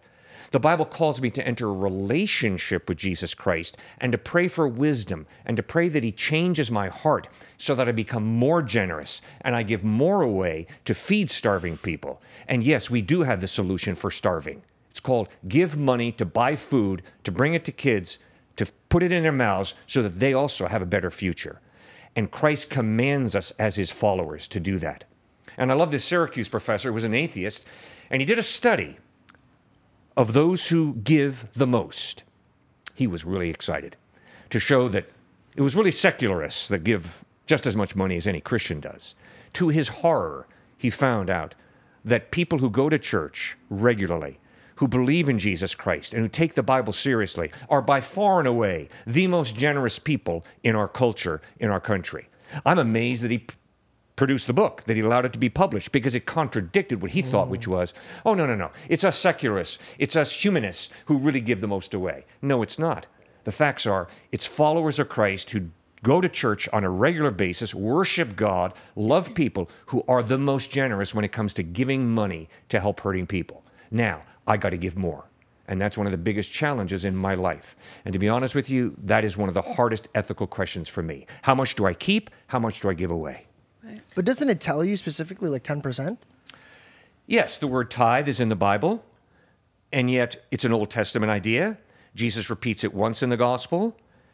And in 2 Corinthians 8 and 9, Paul talks about God loves a cheerful giver, and Paul talks about giving generously.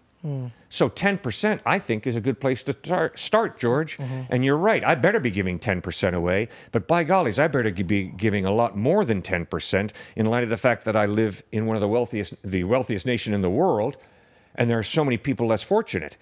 And I can promise you, when I went to Haiti and worked with some college students to build a school, and I began meeting some Haitian Christians, I was blown out of the water by the incredible humility, generosity, hard work, and faith of these incredible people. I think for you to say you don't worship money, it has to come with uh, with actions. You can't just say it with your mouth, right? Mm-hmm. I, I, I, a lot of people look up to their ball players. A lot of people look up to the rappers. I like the way Jesus rocked, man. Like he had Mm-hmm. he had the king and the earth, and I mean heavens and earth, and yet he didn't want any jewelry. He rode in on a donkey. Like the guy was humble, and so I want to practice that because I think it comes with good uh, a good path. A, a, easier heart to live by. I'll be, I'll be vulnerable on one spot. There was a deal that I had that could have changed my life forever, and it was a gambling deal. Um, and I know notice a lot of people are gambling, but I lost a lot of family members to, to gambling, and I saw how it broke the the home. So how could I accept something and promote it to a home where I've watched with my own eyes it break it? I know a man that I grew up with that took his life because he was so much debt he was embarrassed to be around his father. Hmm. And you want me to promote it? Good for you, George. I can't. Mm-hmm. And so I'm by the, by the way, I didn't bring this up to just be like, look at me. no, no. All I'm saying is don't look at your bank account and don't look at the money coming in and out as your lifeline. If you're doing that, you're worshiping money. Mm-hmm. Get all you can, can all you get, sit on the lid, and poison the rest. And that attitude is far too prevalent in our culture. And you've just expressed the opposite. And that's exactly what Christ calls us to. It's exactly right. I think that money is a real good thing in the Bible in terms of Job had it, mm-hmm. Abraham had it, so many of the, the leaders had it. Mm-hmm. Yep. And yet there's something specific. You got the eye of the needle. You got so many other examples of how hard it is for people to get to heaven who have a lot of money because there's something poisonous about it, despite how great it is. You know how they say uh, slavery is in the Bible and it's promoted as the Bible. It's like slavery was okay. What, how do you guys argue against that? It's interesting you raise that because you're right. At uh, University of Texas Austin and some other schools, there were a bunch of very well-educated students and grad students who really pounded on that. And their whole point was The reason you cannot trust the Bible is because it advocates slavery. Whoa, whoa, whoa, whoa. Time out. The second greatest miracle of the Old Testament was what? The Exodus. What's happening in the Exodus? God is delivering the Hebrew slaves from slavery in Egypt. Well, well, but there was slavery that was recorded in the Bible. Yes, that's right. There's slavery that's recorded. There's polygamy that's recorded. There's rape that's co- recorded. There's murder that's recorded. Never is the Bible saying these are good. Rather, the Bible is helping people living in a corrupt, depraved culture learn how to deal with it. Exodus chapter 21, verse 16. You got to read it. It says very clearly if you kidnap someone and are caught with them in your possession or having gotten rid of them and sold them, you must be put to death. Death penalty. You kidnap somebody and you're caught with them in your possession as your sl- slave, or you've sold them to somebody else, you're to be put to death. Now, when you get to the New Testament, you're in the Roman Empire. And over 50% of the people in the Roman Empire were slaves. Doctors were slaves, lawyers were slaves, business people were slaves. It was like indentured servants. Were some of those slaves mistreated? Tragically, yes. A lot of those slaves, though, were treated very respectfully. Now, when Paul says slaves obey your masters, what he's doing is he's not saying that slavery is good, but he is saying Christians do not follow Spartacus and cause a slave rebellion in the Roman Empire, because that's really going to mess things up. Instead, respect your masters, but understand that freedom is best. How do you conclude that? Because Paul wrote a whole letter. It's at the back of the New Testament called the letter of Philemon.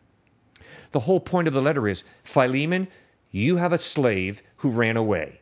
I met him in prison. I led him to Jesus. I'm sending him back to you.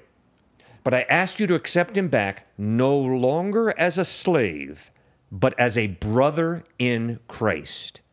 And when you study the abolition of slavery around the world, usually it is motivated by followers of Christ, like William Wilberforce in the British Empire, like Frederick Douglass here in the United States, who understood biblically all human beings are created in the image of God. Therefore, to enslave someone is absolutely evil.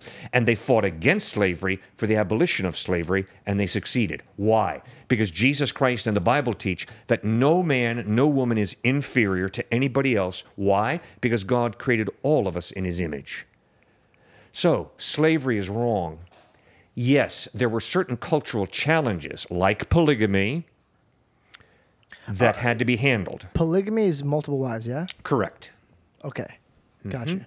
And when did that stop being a thing? Because I heard that like King David had multiple wives, Yep. but didn't God not want that to happen with David? Exactly, George. Yeah. Because in Genesis 2:24 we read, "For this reason a man shall leave his father and mother, be united to his wife, and the two shall become one." Not the 10 become one, not the 20 become one. Solomon 700 wives, 300 concubines. No, not the 1000 become one. The two become one. That's marriage. That's Genesis 1 and 2. But then Genesis 3 we have the fall, where human beings say, "We got a better idea." We're going to run our lives our way. It's pride, not humility. And God says, Because I've given you free will, you are free to go. And polygamy resulted, and slavery resulted.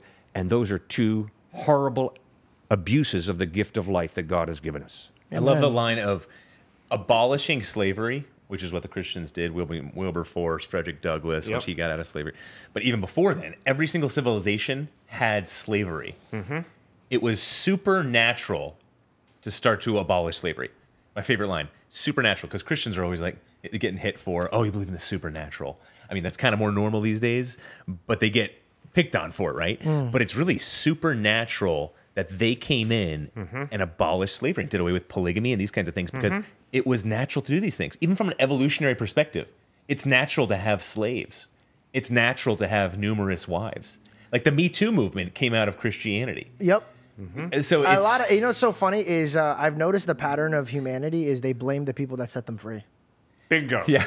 They blame Yeah. the people that set them free. For Yeah. example, uh, a man back in the day when I was growing up, in the old days, when the man ran the house, Oh, the old days. uh, it's now disrespectful. Do you have any idea what my dad sacrificed to be the man of the house? And now you're gonna smack him in the face of disrespect. Oh, you think you're the man of the house? How about this? You be the man of the house. It's work. It's sacrifice. Dude, I make jokes all the time. We're not equals. I run this household, but God runs us. So if I'm out of line, man, he's gonna smite me in a way that I promise you I'm going to correct myself. But if there's a fire and our children are in there, I'm not gonna look at babe, let's equally decide who's gonna go in the fire. No. Sit here. If I die going here, that's on me. You're not gonna risk your life. There's no reason for you to risk your life. I am the one who's gonna go into the fire. Now you're gonna get mad at me for being the guy who goes into the fire? That's ridiculous. And also, I don't argue with fools anymore. That's my new thing. If if you're if you're arguing with me over some foolish things, which by the way, our our our our situation nowadays is just a. This is what my dad told me. He goes, you know, your your your country's in a good place when we fight over things that are ridiculous. We're in a good place. You get what I'm saying? Like you you're just making up stuff to argue about now. My dad is like, you know what we argue about? Freedom. That's what we argued about. My dad used to get literally beat up in his block if you would explain that he followed Jesus. If he was like, "Hey, who do you who do you worship?" and they're like, "Yeah, I worship Jesus," they'd beat him badly, bro, badly. So when he came into this country, he goes, "Listen, if I ever find out you speak ill about this country, he goes, you're gonna deal with me." Because I'm gonna teach you the way that we deal with it in our country, and I was like, okay, cool. I'm gonna I'm gonna start to get to work to help the problem instead of become the problem. Uh, let's open up another question before Yeah, I no, start no. getting political up in here. By the way, I'm running for president. I don't know if anybody. I'm just throwing it out there. Um, all right. So somebody asked, "Do I need to go to church? And if so, why?" I feel like church. Mo- sorry, I feel like church. I feel like most churches are so corrupted. Sorry, it was worded. I, No, they did word it yeah. weird. Yeah, So, yeah. do I need to go Yeah. to church? And if so, why? I feel like most churches are corrupted. Stuart? Uh, so I love this question because according to the latest Harvard studies, I throw this out at people who don't go to church. I just throw the Harvard studies out because you would not expect it from Harvard, a, a tremendously secular school. Right. 2018, they put this study out talking about if you take your kids to church in their 20s, they have a, a 60% higher chance of well being and happiness. Hmm. And then a more recent Harvard study talked about how if you go to church, healthy church, like you were saying, it, you have a much higher percentage chance, it's like 70% chance of women getting off drugs um, exponentially higher chance of decreasing depression, anxiety, increasing life expectancy. So I just throw hard like like I, you could take it from a biblical perspective, and you should eventually. Mm-hmm. But I start with these stats being like, you you mm-hmm. can't get so Harvard stressed that you can't get those benefits Right. from going to like a country club mm. or some type of community center or something. So I think supernaturally, it's crazy how church works like that. What if I told you you only should buy one more razor for the rest of your life? This video is sponsored by Henson Shaving. Let me just get right to the point. As a man, as a Middle Eastern man, as a hairy, I grow by the minute man. This razor is the greatest razor you're ever gonna buy because this frame, zero plastic, and it's it's promised to last decades, if not a lifetime. Also, you're probably wondering, well, George, I can't use the same razor over and over and over. No, stupid. You can't use the same blade over and over. In the sponsorship, you get 100 blades for free if you use my code JANKO. But also, just remember, guys, after you even run out, the spending on a blade with this company is going to be anywhere from three to five bucks a year. And I don't know if you guys have ever remembered how much you spend on those razors. They're like, what, 30 bucks for something you're going to use for like a week? And if you drop it on the shower floor and it's gross and you're like, I don't use the plastic, looks weird, it's melted, is no good. Is no good. Henson Shaving. Link in the description. Code Janko. Now back to the show. I, I have my own point of view on it, uh, and to circle back with the with the country standpoint, I'm Yeah. gonna I'm gonna use this. Um, say my country's a mess. Say my country's divided, and say my country's in a place that I'm not happy with.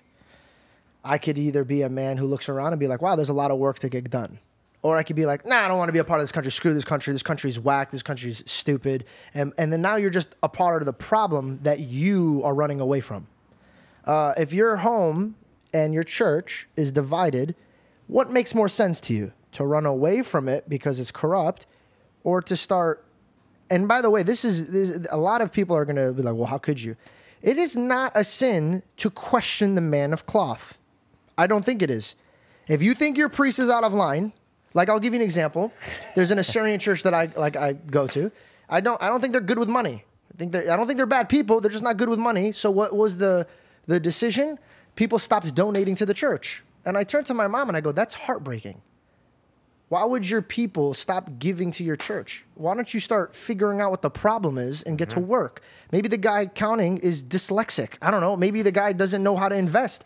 I'm not trying to poop on anybody, but if there's a problem and you're like, well, no, I'm not, I'm just not going to be a part of it. And it's just like, that's kind of a brat standpoint. You know what I mean? Like Yeah, that's, yeah. that's, eh, that's not humility. If you mm-hmm. think that you're going to walk into a perfect church, send me the address. I would Yep. love to attend. Yep. But I know that there's in that same church that people are not donating. I know that there's a lot of good people that love Christ and they want to do good and they're trying their best. But nobody wants to say, hey, why don't we gather together? And also, I wanted to circle back to this Bible verse. When two or more gather in my name, I am present. I was explaining to somebody that this is how I see it. I believe that when God explains how you pray, it should be alone, right? But that doesn't mean he's not with you. I think he is with you. I think when God says, when two or more gather in my name, I am with them, I think it's holding them accountable. I think if you're going to say something for God, but then Cliffe is like, whoa, whoa, that's against biblical form, and he flips to the scripture, I think God could work more with more people united discussing their point of views and using the scripture. Is that how the Bible verse was intended, or Yes. And it, it, it answers it answers that question. call mom now? hey Siri, call mom. Sorry. No kidding. All right.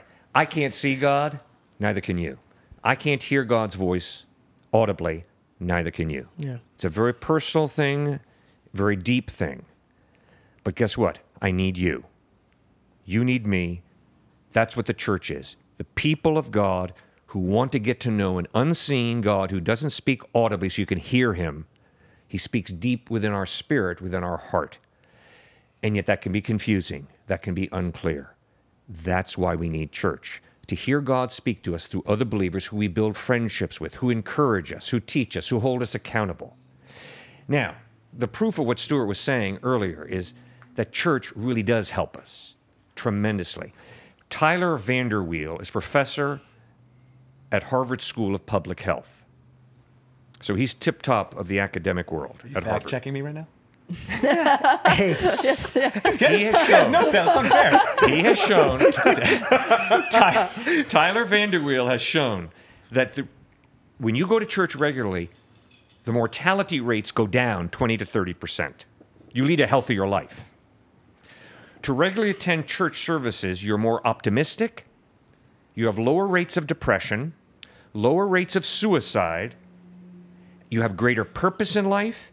You are less likely to divorce. You are more self controlled. Now, are there problems with churches? Absolutely yes. So find a church where it's not just a hypocritical country club.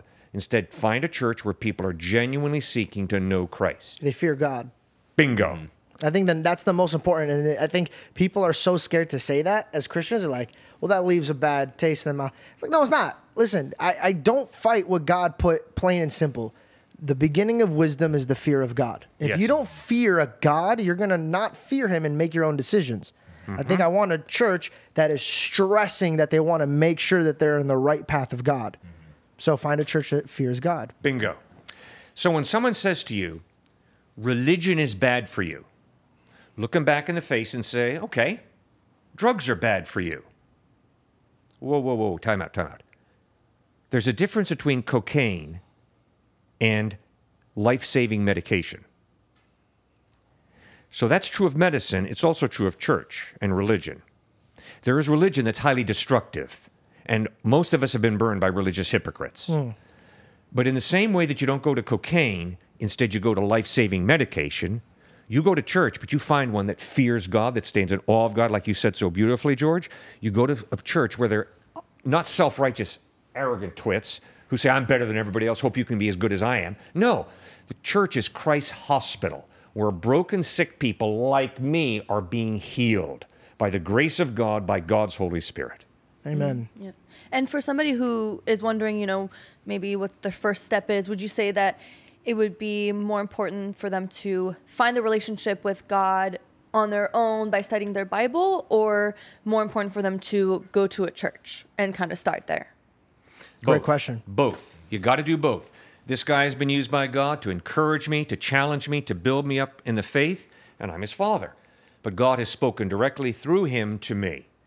So, I need to study the Bible, pray on my own, but I also need to get together and build meaningful friendships like I have with Stuart, but also like I have with a bunch of wonderful, awesome men and women of faith at Grace Community Church in New Canaan who are just wonderful people, and God speaks to me through them.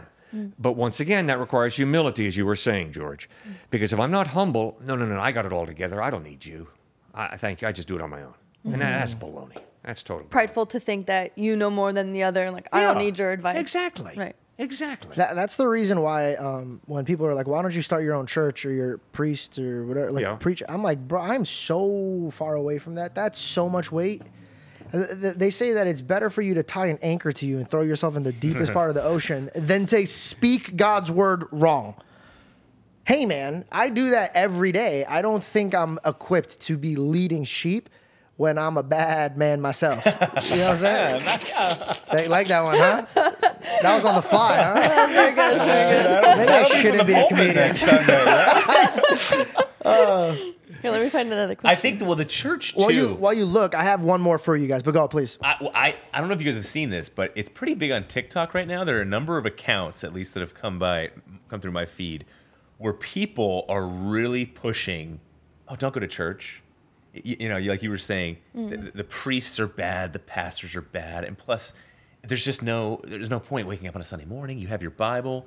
Just focus here, and they're speaking ill of the church. Yeah. that's why that's why it's a good question. It's mm-hmm. relevant right now. Yeah, yeah, disguised yeah. as sheep, my friend. Yeah. Mm-hmm. Yep. Wolves disguised as sheep. Hey. It's so e- listen. It, it, if it's too good to be true, it's probably not true, right? So if it's like, yo, you could do it all on your own, it's like, well, then how did God's people fail? You know what I mean? Right. They got verbatim an audible message from God, and they still got it wrong. You think you reading a right, right, Bible that right. was translated eight times? Like is- that. You're not gonna figure it out, man. You need help. Mm-hmm. I go online and I like if I read one Bible verse, like just a paragraph, that will take me two hours because then I'll go and see it from his point of view, and then I'll see it from his point of view, and then I'll see a translation, and then I'll sit there and I'll ponder. But most importantly, I'll ask God for wisdom, which is the Bible. But most importantly, I need understanding of it. You could have all the wisdom in the world, but if you don't understand it, it's pointless. It's like you could have all the money in the world, but if you don't know how to spend it, it's pointless. Um, so I would, you know, you are who you hang out with, and if you hang out with people that pretend they got it all together, I want to, I want to sit with a man who claims like you guys, like I don't know anything, and I'm a sinner. That's the man I want to hang out with because now I know you got it. Yeah. When you're measuring your uh, uh, mental strength against God, and you humble yourself and be like, "Yeah, I'm dust," then I'm like, that's the guy I could get along with, not the guy who's like sipping coffee, who probably propped up his phone and shot for three hours explaining and then editing on TikTok why I shouldn't go to church. Hey, buddy, go find Jesus. Well, isn't it? Uh, it was uh, true understanding doesn't come without the reverent fear of God. Right. Exactly right. you dog. That was- this- I don't know. I was in my head from what you said. So I got a question, strictly for me, and by all means, go deep on me and beat me up if you need to, because this is a demon that I've been trying to fight for a long time. I um, I can't get out of things that I love, right? Thank God I love things that God loves, so I, I'm very easy with a lot of things I could do. But for example, there's a lot of stuff I mess up on, and the problem with it is I don't listen to people around me to do what I do, right? I listen to my heart. But what happens if my heart's leading me in the bad direction? So, taking that vertical up, marijuana. I uh, I don't drink. I, I don't drink because I lose control of myself. And not just me, everybody. If you go to the club, when you see people drink, I know this sounds, I might get clipped for this. When I see people at the club and drinking and stuff, I, I don't like being at clubs because I, I, I look like I'm with a lot of demons. Just doing, guys just looking to see who they could smash. Girls are just completely blacked out. They have boyfriends at home. Like, oh, when I'm around these things, I feel like my, my skin's about to explode into fire. So I'm like, okay, I don't like drinking out with people. It's just, they're not at their best quality state of mind, and I don't want to be a part of that. When I smoke weed, though, I'm giggly. I am stupid, but I do have a firm grasp of what's kind of going on here. Um, at night, I like to partake in one or two joints. Now, for you good men, I don't know if you know what that is, but it's ripping a bong is grabbing a plant from God's earth, right? So, uh, is it wrong for me to unwind afterwards and and and rip a bad boy? You know what I mean? Like, uh, get as high as my God could possibly take me. Oh my God, Lordy. I'm gonna This is a ask you great- in a blasphemous way because I want to relate to other pagans like me. Okay? No, this is such a good thing to like, you know, to ask and to know. well, I'm gonna ask it the way that I feel. Listen, bet. God created it. Yep. I just light it on fire and it acts me up a little bit. I just want to know: is it bad, and am I considered a drunken fool if I do this? It's that's such an interesting question because so I have relatives now, you know, CBD oil Mm-hmm. and all. It, it, it- so it depends on the grade, right? Nah, I get pretty high, bro. You you go way further. No, no, no. Exactly, CBD's, starts CBD's down what I here, take to calm me down, bro. Like I'm talking, and just like I'm just sitting there watching, and then and then gluttony. Oh God, gluttony is such a bad thing. I got pizza and ice cream. Listen, do I think God's proud of me? No. But is it something that's gonna cast me away into hell because I keep practicing it? Um, and I, I love it, man. I like smoking and chilling in my house, and I feel like it's more beneficial than me. You know, like Yeah, a- that's true. Do you get what I'm saying? And so Yeah. I just I'm trying to find my way into the acceptance of it. And if it's wrong, I'll try my best to stop it. And if it's right, we're lighting one right now, baby. We're gonna get Cliffe on it right now. First time ever. He's gonna jump off the cliff if he smokes what I have. Cliffe, Cliffe, he doesn't drink alcohol. He never has. But we got him on a boat once, and he thought Mike's Hard Lemonade was just lemonade. No. and he was just no. when he You got lemonade, he just goes. Well, you know what? Jesus turned water into Hey, wine. thank you. He turns up. And the gallons, the amount of that was supposed to was just insane. No, like he- he- absolutely. nah, nah. Like people back in the day, they're like, "Yo, Jesus is here. We, got the good right, stuff." right. Like, I don't know if that's bad. I'm sorry. I was trying to make a joke. I'll let you give your poison ivy All illustration. But wait, wait. Let, let me just say Go, this go. one thing. I, it's of the earth. I'll, I'll let you take that. Boom. But I, you know, I, th- I think it gets, just gets to that point. It is healthier than alcohol. A lot of people say Let's now. go. Let's go. And so I, you know, I've done some conch, conch, conch out of the shells in Costa Rica. You smoked? Well, you yeah, it's smoked been my bit. It's been a bit. Out of shells in Costa. Rica? Wow. I gotta move out here. Maybe it'll be a little more Oh, no. consistent. We wouldn't be able to push back against it here. This is gonna get clipped. The whole church is gonna be like, "You guys get stoned." Hey, you drinking Mike's Hard? It's over for you guys. The internet's coming for you guys. so, so it's the whole matter too. Well, something connected. DMT, psilocybin. Whoa, buddy. Whoa. It's Whoa, where did he though. go? You Have went you acid? seen? Hold You on. went to acid? Have you seen that? Like forty percent of hard atheists became theists after these trips. Hundred percent. Like, how do you explain that? Because it goes- And it is God you to- using that? So even though I- it's so unhealthy. I, I agree, and I also it's like okay, this is oh, okay. Now we're really diving in. trail. This is how I answer? explain it to my mom and dad, right? So first of all, just to let you know, I might be a pansy for this, but when I was about to smoke weed, I sat my parents down first, and I wanted to make sure it was okay with them. I was having a really hard time sleeping. I had insomnia, and the doctors are like, "Yo, let's pop pills like Whitney Houston," and I said, "No, fam, I'm not okay with that." And my mom said, "Nah, smoked weed, but I'm not proud of it. But I'd rather you smoke weed than do drugs like that." And I was like, "Okay." And then uh, I was smoking, and I and I explained it this way: You have a hammer. You could either build a beautiful home with it, or you could kill people with it. Right? It's how you use it. Um, mind you, how I've been using it is not the right way, but. Is this God's plan, and are we allowed to use it? Because isn't there a scripture? But this is such a stoner scripture that like can't wait. that it, it, like every herb was for us or something like that. And That's Yeah, the one I don't remember, by the way. That's so funny. Oh shoot! I, I really, curse, by the way, right I there. know. That was a oh, curse. Cliffe, whoa. This is cheese. Keep it clean. come on, buddy. We're talking about God here. What's wrong with you? Jessica, get my bong out. Just, just kidding. Okay, so Please. what is your? Alrighty. First point. Some people say to me, "Well, God made it, so why don't you smoke it?" Well, yeah, God made poison ivy. Please don't suck on it, okay? We live in a messed up world. Everything's been cursed. Everything's God created a good world, really good, but then th- when we rebelled against God, nature got cursed. Everything got cursed. We live in an unfair, messed up world. So we got to be wise. We got to be shrewd. So, no, just because God made something doesn't mean I need to smoke it or suck on it. Okay, I need to be wise. Second point. Ah, Cliffe, no, no, no, no. There is no way you should be drinking alcohol. Whoa, whoa. The first miracle that Jesus performed was turning water into Coca Cola. No. No, way. It But was- can we pin that real quick? Wasn't that because he was honoring his mother and he was showing that you must honor your mother? Because Sure. because he referenced hmm. and he said, "Woman, it's not my time." Good point. Ver I like the way you read the Wow, scriptures, deep. George. That's awesome. All right. But But if it was about marijuana, I'd be leading you out. I'm like, Keep going. All right. So let's be real honest. There is nothing wrong with drinking wine. Jesus turned water into wine, so come on. But he did warn against drunkenness. So, what is the definition of drunkenness? Good question. I do not know. I've heard it defined so many different ways. It's incredible. Why would you lead me? I thought you had the magical answer, man. I was, so, I was like, let's go. But let me tell you why I don't drink. I don't drink because the guys I played ball with got her drunk, and then they did anything with her sexually they wanted to do. Mm. That's crass manipulation. Mm. That's using a person. Fair enough. That's why I don't drink. But I think, okay, you you you rock it up on the booze. It's not my thing. I like to smoke because I feel like I could at least. I know people that smoke and do their job. I have very bad ADHD, so it calms me down. Yeah. So I do look at it as a point that um it, it relaxes me, it unwinds me, and I could fall asleep. But I also feel like it's a cop out because I just want it. Yep. So I wanted to know biblically what is the limit to marijuana, if Right. it's okay, if it's not okay. If you do this one more time and you don't have the answer for it, All right, it's real simple. George has one body. yes. You don't have a spare in the trunk. Your body is a beautiful gift from God. Amen. Take good care of it. Of course. Use the best science, the best medicine you can. Take good care of that body because you don't have a spare. Hmm. And as a pastor, I have to sit beside the hospital beds of people who are dying from lung cancer from smoking cigarettes. Yeah. That's that has a lot of One crap. Painful way to go. Yeah. One painful way to go.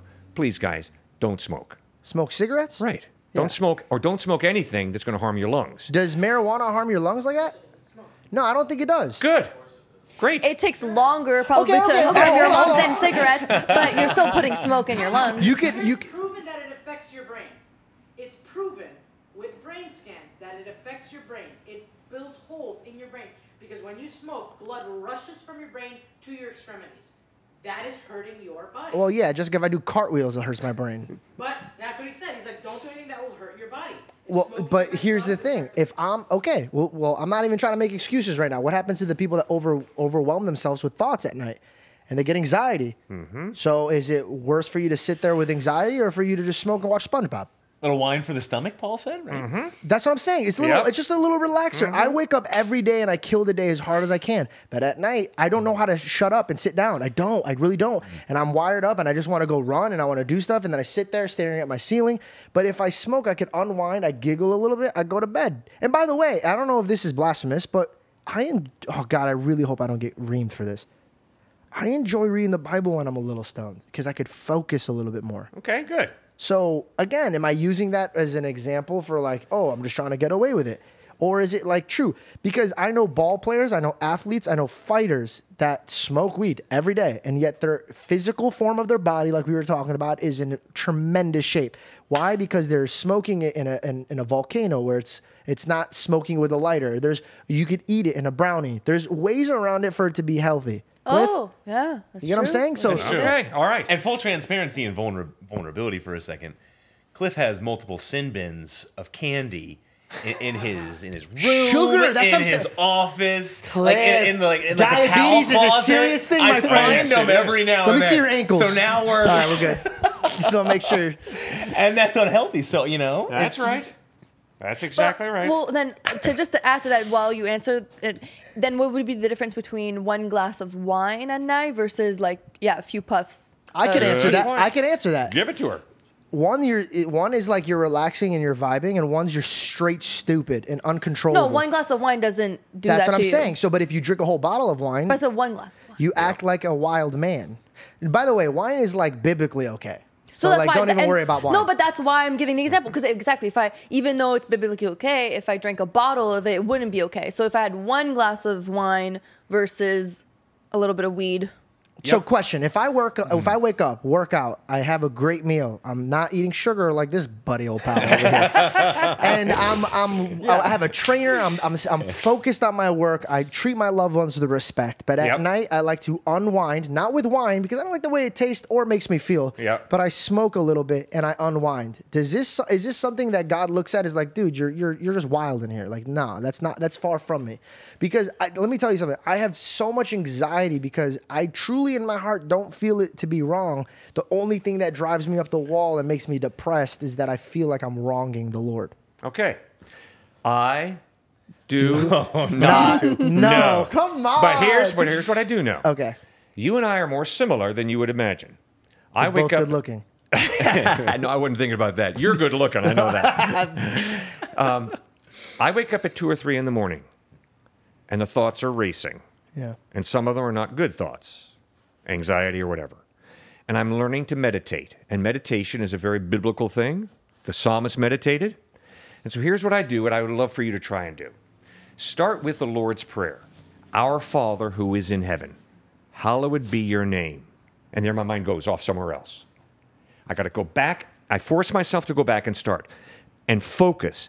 Our Father who is in heaven, hallowed be your name. Your kingdom come, your will be done. And my mind's going off another. I have to stop and go back. And I'm teaching myself to focus on Christ instead of focusing on my anxiety, my problems, my fears, the things that threaten me, my insecurities. Mm. And meditation is incredibly helpful. So the Lord's Prayer would be one example. Secondly, Psalm 23. The Lord is my shepherd, I shall not want. He makes me lie down in green pastures. He leads me beside quiet waters. He restores my soul. And that has a way of calming me down and reminding me it's the all powerful God who is the basis of my security in life, not my bank account, stock portfolio, or talents, or career, or whatever else. Oh, I'm not using it to uh, to like cure my anxiety or depression. Okay? I'm just strictly off of just unwinding and enjoying my time. That's the problem. Yeah. It's it's not like I'm using it to be like uh oh I'm really depressed. Honestly, I think de- I get more depressed while I'm high sometimes because I'm overthinking that it's wrong and Right. then I get anxiety from that. It's Yeah. truly not. It's just an unwinding fact Yeah. of I worked really hard today. I'm just trying to kick my feet up and just unwind and that's why I find it selfish. It's not a need that I want. It's truly a want. Yes. But I get jealous because people love wine. Yeah. And I don't love wine. I love this. This is my avenue. Yep. Why is it that this avenue is wrong and then this avenue is fair? Well, I think it's wonderful that you and your sister have great conversations on this topic. Always. Always. You got a good sister there. She loves you, and it's beautiful to see. She gets high with me all the time. She's like the Pharisee. She's Pharisee. She'll just act like she isn't sinning. Look at her. Time out. The difference is the amount, right? Like that's the part that I worry. I'm an overachiever, Jess. It gets to the point where it's gluttonous, right? Like it gets to the point where like your whole day. Okay, fine. It's a Monday. We have work the next day. There's no reason why we should be smoking two joints the day before and then we wake up groggy. We feel the effects. So the fact that like that's the part where I'm, I disagree with. Like it's not just oh I'm just gonna chill and hang out. No, it's the amount that we do. That's the problem that I. That's the problem. That I can cool off with the amount that I have. Do you get what I'm You know what I mean? If I if I had the green light of like I'm just gonna fully, if I fully was like, okay, this is not a sin. I just got to monitor it better. I could definitely do that. Thanks for calling me out for this. Jessica, whoever said not, tossed the first stone. And you were throwing some rocks. it's a glass house, my friend. Uh, she loves you. It's great to see. bro. No, this is great. In a Middle Eastern house, if you're six years older than your sibling, it's another mom. Do you know how many times she's grounded me? Do you have any idea how weird it is for your sister to be like, that's it, no phone? Amazing. I'm like, well, you can't do that. And then she pays for my phone bill, so she takes it away from me. And I'm like, okay, I don't even know what to do here. Oh um, so we'll circle back. Maybe we rip a bong, we figure it out. is that is that a sin? Manifestation will come down. Yes, when, when we're doing it. Okay, so t- so uh, just to circle, just to close this, just just close this chapter. Sugar is bad for you. Alcohol is bad for you. There's a lot of things bad for you. Is it like how you're monitoring in your life and you're not letting that substance or object overcome your life? Well put. Moderation. oh your boy my getting goodness. high Well put. tonight. I'm just kidding. I'm just kidding. I'm joking. I'm just joking. Obviously, by the way, and this is true. Jessica can speak up. Reed can speak up. Bell can speak up. I always personally pull them aside. I go, "Hey, have you seen me drift off from marijuana? Has it pulled me away?" And they'll Reed will be the first one to be like, "Yeah, I think you know you don't. You're not a passionate. You, you wake up groggy." Bell would be like, "You're a little crankier." Jess is like, "You're stupid." And I'll be like, "Okay, cool." So like, I'll monitor. I'll ask and I'll and I'll and I'll weigh out their opinions, not because I care about what their opinions are. Like I'm like worshiping their thoughts.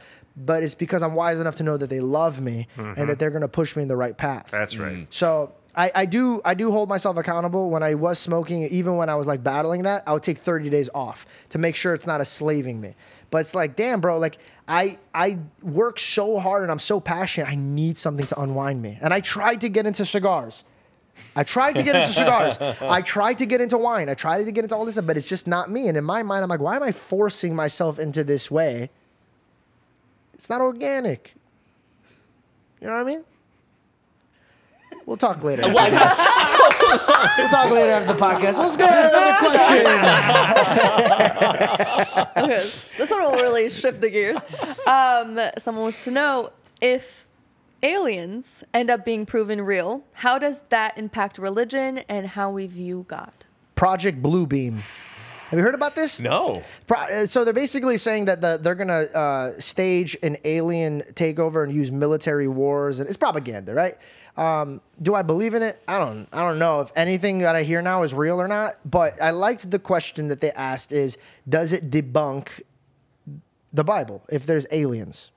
What is your guys' opinion about this? Because to me, God's an alien, right? Isn't he? Oh. God's an alien. He's not from this earth. He created it. He's out of it. So technically, an Okay, yeah, alien okay, is okay. out of this earth. Okay. Aliens, uh, uh, to me, is like an angel. An, a- an angel's an alien. He's not. He's not walking around at Trader Joe's with me. I'm a legal alien. OET? No, babe. we're gonna get married and handle that. Okay. Uh, Actually, I could become a citizen today if I wanted to. Because, you know, just saying. Anyways, please go on. So you guys got the baby, you got the citizenship, you got a lot to work with. Let's, let's get married right now. Alien. Come on, we're gonna- okay, I'm so sorry. Go ahead, please. for me, it still comes. To, the cool thing about Christianity is it all comes down to a historical event, whether that event happened or not, proves or disproves the whole thing. Like Buddhism, Islam, a lot, you know, Taoism, a, a lot of these, it doesn't come down to historical event. I, I can't think of a single other religion that does. And so, whether they're aliens or not, there could be, and perhaps they are physical and they're like humans, and they're so they do have the imprint of the image of God. But just like a lot of the tough Old Testament, like slavery questions, at the end of the day, it's just it's moot. It, it really doesn't matter at all if the resurrection occurred. And so that's the crazy part about the resurrection. Like, was a man actually not just resuscitated? Did he come back to life? Mm. And was he God? So you're saying aliens are not aliens? It doesn't. It's a moot point. It doesn't take away from Jesus dying and coming Exactly. back from the dead. Also, when I see these videos online and they're like, "Look how tiny you are," and then it zooms out and it's like, "This is a galaxy and this is a universe," and this. Is, the first thing I think of is like, "Look how big my God is," mm. because I believe my God exists regardless of how big or how small we are. So if you keep showing me how small I am, you're just showing me how big my God is. Uh, Yeah, and also, it's, my Yeah. God's a creator. I didn't expect him to just be like humanity. I'm done. And I'm just sitting back and I would assume that the creator of all creation is probably still creating other things. So I wouldn't be flabbergasted or dumbfounded that this uh, this God, this deity, is off creating. Doesn't make sense to me to even think otherwise. Yeah. I just hope that his other creations don't come and kill this creation. Right. Biblically, that's not going to happen. But Those yeah, I, I don't. I I think that if there is aliens, I don't think it counteracts the Bible. Mm. I, I have a question actually. I mean, we can keep this or not. Keep No, this. your questions don't matter. Go to the other question. no we can just not keep this. But I'm just curious what you guys think about this. Just you know, right now everything that's going on in the world, and there's been I've been seeing videos of you know they're starting to implement the the chips that are going to go in people's hands. Oh, and conspiracy ride. Let's I, go. I want to know what you guys think. the mark of the beast. Yes, exactly. I want to know your guys' thought on that because I actually watched a video of a gentleman who was behind helping create this chip that they wanted to use. And he's an atheist. And he said, you know, I. I was helping, trying to figure out, okay, where can we put in the body because it needs uh, the temperature of your body in order to charge, things like that. And then the team, I guess, that he was working with, you know, said it seems like the best place for it would be in in the hand or in the forehead. And he realized, like, whoa, this sounds a lot like the mark of the beast. And it did not sit right with him. And he dropped the project and he walked away from a hole. And now he, you know, tells the story and explains it. And I mean, now I've just been seeing more and more. I think I believe in uh, England. Yeah, I believe it is in England. They're already starting that where, you know, people have the chips in their hands and they won't allow anybody to use other currencies to buy things. Like this man was at Whole Foods and he goes, "Here's, you know, a dollar and 20 cents. I am taking my chips and I am leaving." And they won't they did not want him to leave because he was not paying with the chip that is in his hands, and this is just incredibly alarming, right? And I, I want to know what you guys think about All right, Mark of the Beast, Book of Revelation. Dude, you guys look like cartoon characters. I. Got this one. Book of Revelation, highly symbolic language. It's called apocalyptic literature. For the past 2,000 years, followers of Christ have said this symbol means this, this symbol means that, and this symbol means that. And Adolf Hitler was the Antichrist, and Joseph Stalin was the Antichrist. Yeah. It just goes on and on. Watch out. Be very, very skeptical and suspicious. I think one of the main points of the book of Revelation is Jesus is coming back again. There will be a day of judgment. There will be a real heaven and a real hell. Oh, Cliffe, I can't believe you think there's going to be a real heaven and a real hell in life after death. Because if you believe that, Cliffe, it makes you so irrelevant to life today. Excuse me. The roads that we keep in top condition are the roads that lead somewhere significant.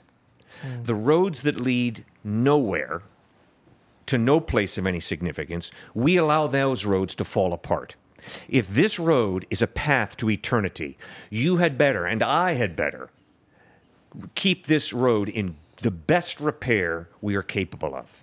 And so a follower of Christ is not someone who is so heavenly minded they're no earthly good. No, they understand we're headed towards eternity. And because we're headed towards eternity, because there is a heaven and there is a hell, I want to do the best job right now, in the mm. here and the now, to make this world to be the best place, to make people to be as good as they can, to encourage them to grow in compassion and kindness and in justice. That is what Christ calls us to do. Mm-hmm. Amen. Amen. Mm-hmm. Uh, also, what a beautiful trick is to have the devil continually think it's the end of the world, right? Mm-hmm. Because then what are you're going to do, you're going to get everything out of the way and you're going to freak out and you're going to be living in paranoia. If the end be tomorrow or in a hundred years from now, you shouldn't be living it differently. You should be living it in. If I'm sorry, if you believe in Christ, you should be living it the same. I don't fear mm-hmm. that if the, if it ends in next week because I know where I'm going. So I'm not like I'm not mm-hmm. panicking. Do I am I scared of death? Of course, I'm human. I don't Sure. want to die. Absolutely. But I'm not here. I'm not living my life in fear of death. Mm-hmm. Yep. I'm living it as how the scripture says. He says, "Today has enough trouble of its own. That's Tomorrow right. will worry about self. That's right. So I live today with Yeah. what I could do with today. Yeah. And let me tell you something. It was going to be the end in the 2000s. It was going to be the end in 2012. It was Yeah. Mm-hmm. going to be the end here. And it's going to be the end here. And Hitler was the one who's going to kill us. And about, this is what this is all propaganda. And it's all like it's to me. It's like whatever, bro. Like Yeah. I don't care if it's Yeah. gonna happen. It's gonna happen. I'm not gonna sit here and bang my head up against the wall, freaking out about it. Yeah, there's 'Cause the- nothing we can do about it if something's, you know, if the world's gonna end, there's nothing that we can do to stop it. So we mhm. can only enjoy the moment that we have now versus having anxiety, right? And ruining what we have left. But I was just curious about that because I've been seeing it a lot. And I mean, to me, like if I got told that I need to put a chip in my hand, I don't think it's really healthy. It doesn't mm-hmm. sound really healthy for me. Mm-hmm. So I don't know if that's something I want to do. And Good. would you guys put the chip in your hand to pay? Probably not. Hmm. I'd have to hear a little bit more. Probably, I need a little bit more uh, education before I did that. What's so interesting though about your question too is I do think it's important to discern the times. So, like you guys were saying, definitely live your life and don't be afraid or paranoid by the times. But to discern, it's smart about chips and these kinds of things. The book of Revelation was written to an audience that was going through tremendous suffering. I think a lot of people forget that. And then also, it was John who was really old, perhaps schizophrenic, on the Isle of Patmos. And it was added into the canon later, right? I'm not saying it's not inspired. I- I'm saying it is mm-hmm. inspired, and I think it should be included. Wait, wait, he was schizophrenic? I, I just say that. Oh, I was like schizophrenic. I was like, I have a mental health background, and it, it looks schizophrenic. Some of Revelation, I'm gonna be honest. but I no, I think he was. I I, I no, I think he was right as rain. But I think that he also all that apocalyptic literature is just it's odd to me why it was written. They almost didn't include it, right? And and so it causes some level of I think paranoia. Is this because we have a friend who's she's been trying to discern the times. She'll literally be like, two days from now, get ready. yeah, Won't happen. Move all your money to Next this. day- Do this and blah blah blah. I'm She told me not to have a baby. She said, don't have another kid. I was like, Yo, but look where it led. yeah, The stop of life. right. So people are Exactly. scared to have kids because they're like, oh, this is the end times. Right. I just think that if it is the end of times, enjoy.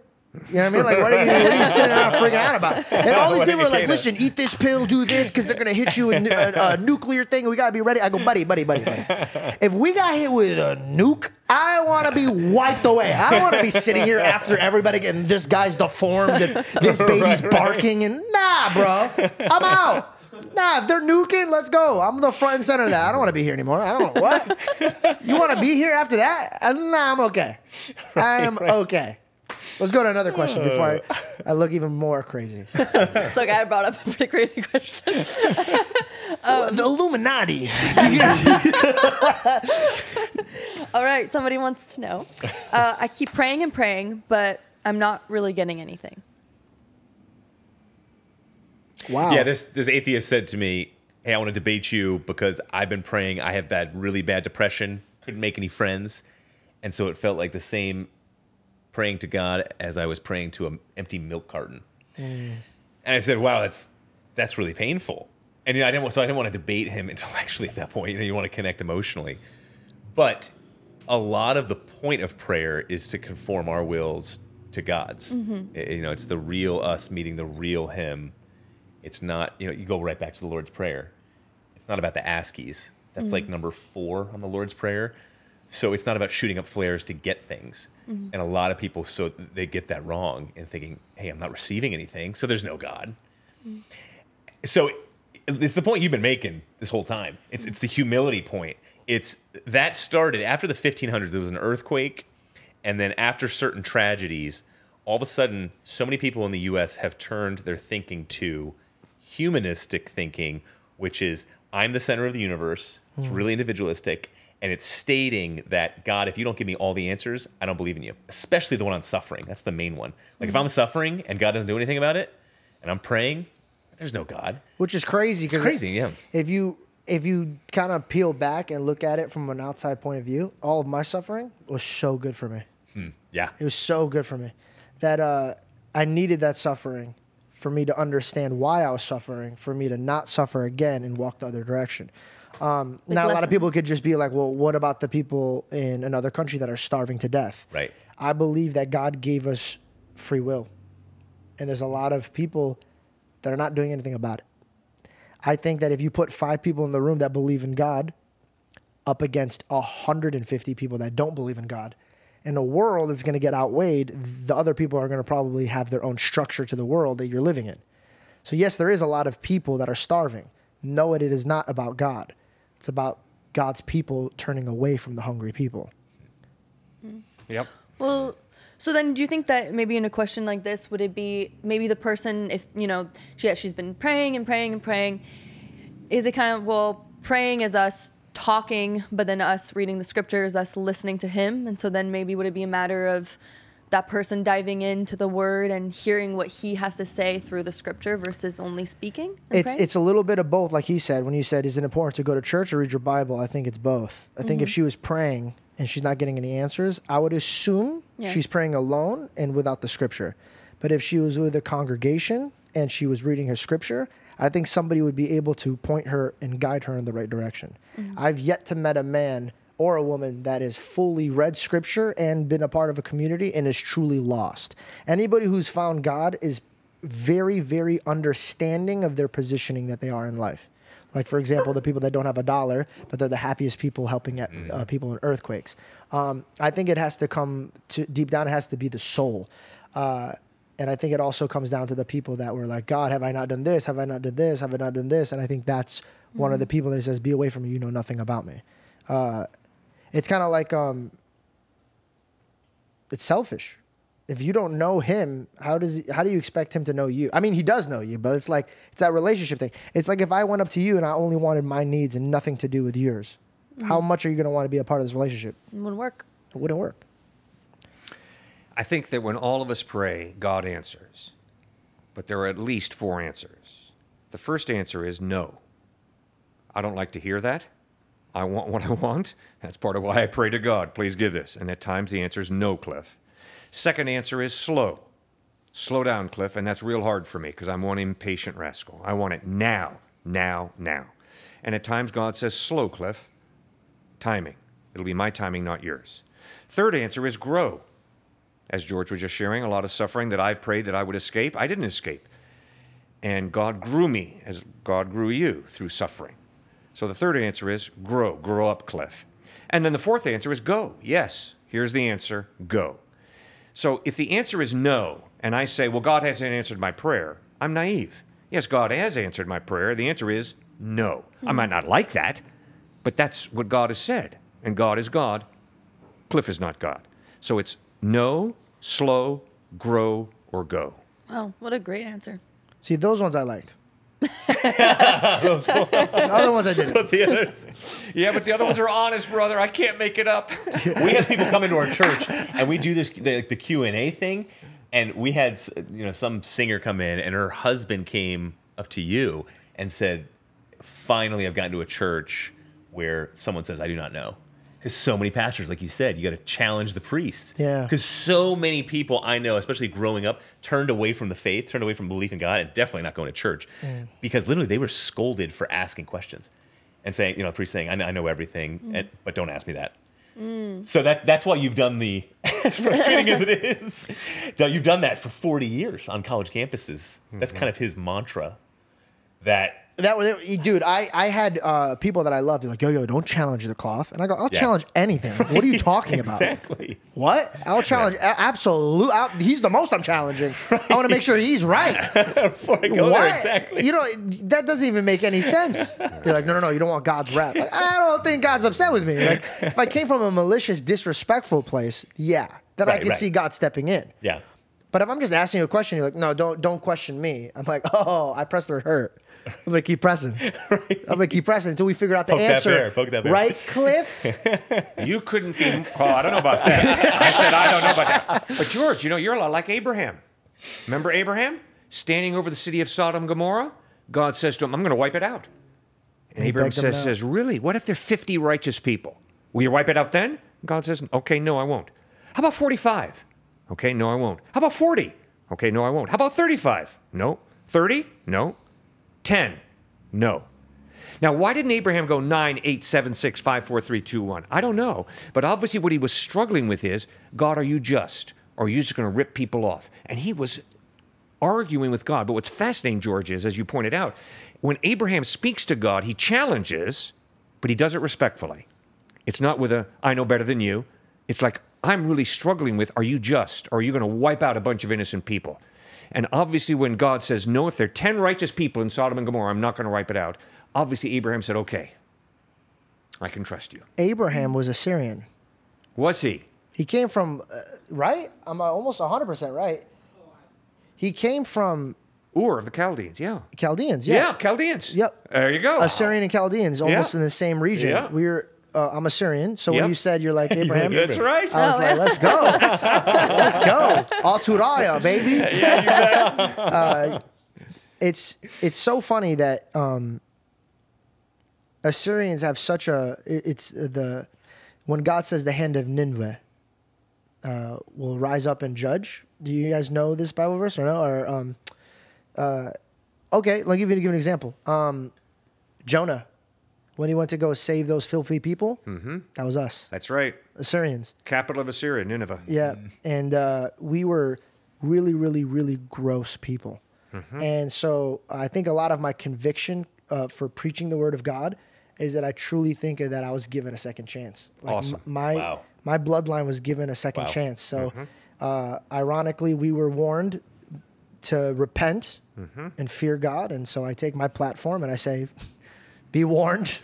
And repent. It's a it's a very serious game we play this life. And Yes, uh, it is. and it's so funny how a lot of people like say God doesn't exist and don't even give a second thought of reading or trying to find. And now I understand this as no eyes and ears shall hear or see unless they want to. I can't convince you uh, that there's a God as much as I can't convince you there isn't a God. Um, and it's just a relationship that I love. Do you ever doubt, like doubt God's existence or. His love? Well, And you think it's a good thing, or when is it? I, when I was younger, I used to doubt. Now I have an abundance amount of evidence that it's like it's oh, it, you can't convince me that there. You have a better chance convincing me she doesn't exist than God exists. That do- God doesn't exist. Yeah. Um, But I had to work to Right, have that right, right. relationship. Um, and, and let me tell you something. Just like muscles, right?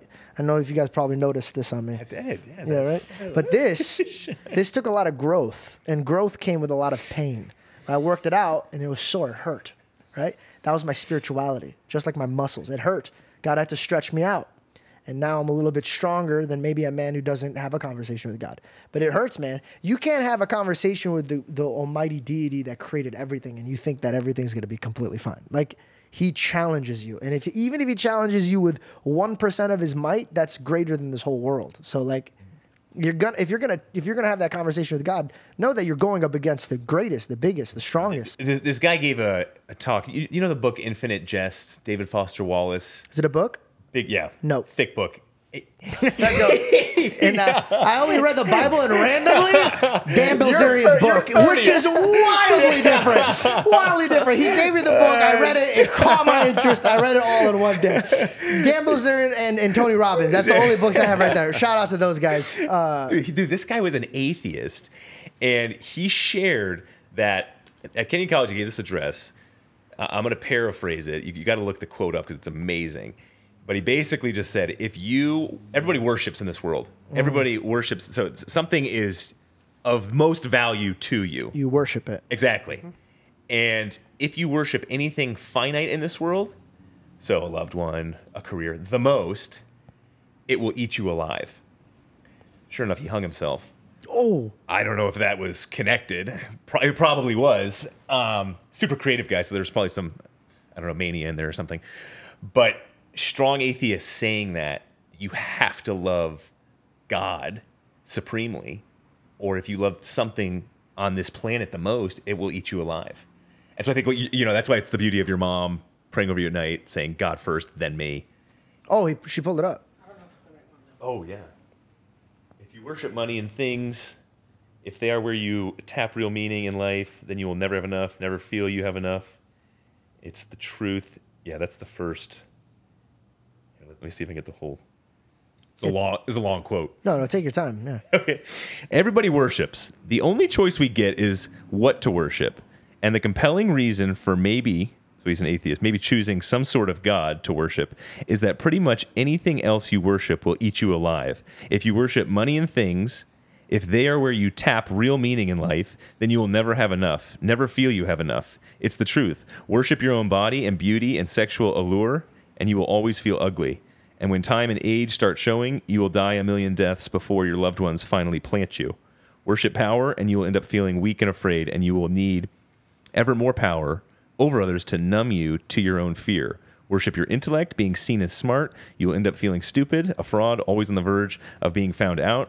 Look, the insidious thing about these forms of worship is not that they are evil or sinful, it is that they're unconscious. They're default settings. Wallace, this is this is my favorite author now commenting on that quote. Wallace was by no means a religious person, but he understood that everybody worships, everyone trusts in something for their salvation, everyone bases their lives on something that requires faith. A couple of years after giving that speech, Wallace killed himself. And this non religious man's parting words to us are pretty terrifying. Something will eat you alive. Because even though you might never call it worship, you can be absolutely sure you are worshiping and you are seeking. And Jesus says, Unless you are worshiping me, unless I am the center of your life, unless you're trying to get your spiritual thirst quenched through me and not through these other things, unless you see that the solution must come inside rather than just pass by outside, then whatever you worship will abandon you in the end. Wow. I don't mean to be dark, but do you think he was trying to find the meaning of life so much against the real meaning of life that he took his life because it ate him alive? Hmm. Just a pondering thought. Mm-hmm. Maybe. That was dark, man. Yeah. That was dark. that was real dark. Let's uh, let's segue somewhere else, man. Where's the bong, man? Come on, get it. No, you heard the man. Test it out. Oh, okay, Well, that's okay, a great okay. quote, though. Uh, let's do one more question, and then we could just wrap it because I don't want to take too much more of your time. But guys, it was such a pleasure. Man, Pleasure was ours. so good. One more, fire one off. Okay. Um, what is the limit for God's forgiveness? Great question. Stuart? Well, you know, when Peter talks about 70 times 7, Jesus says that to, to Peter. Obviously, it's an endless number. But if this person's talking about emotional or physical abuse, maybe it's something deeper than just, you know, a friend offended you and you guys are trying to reconcile, then I would use forgiveness first, then justice.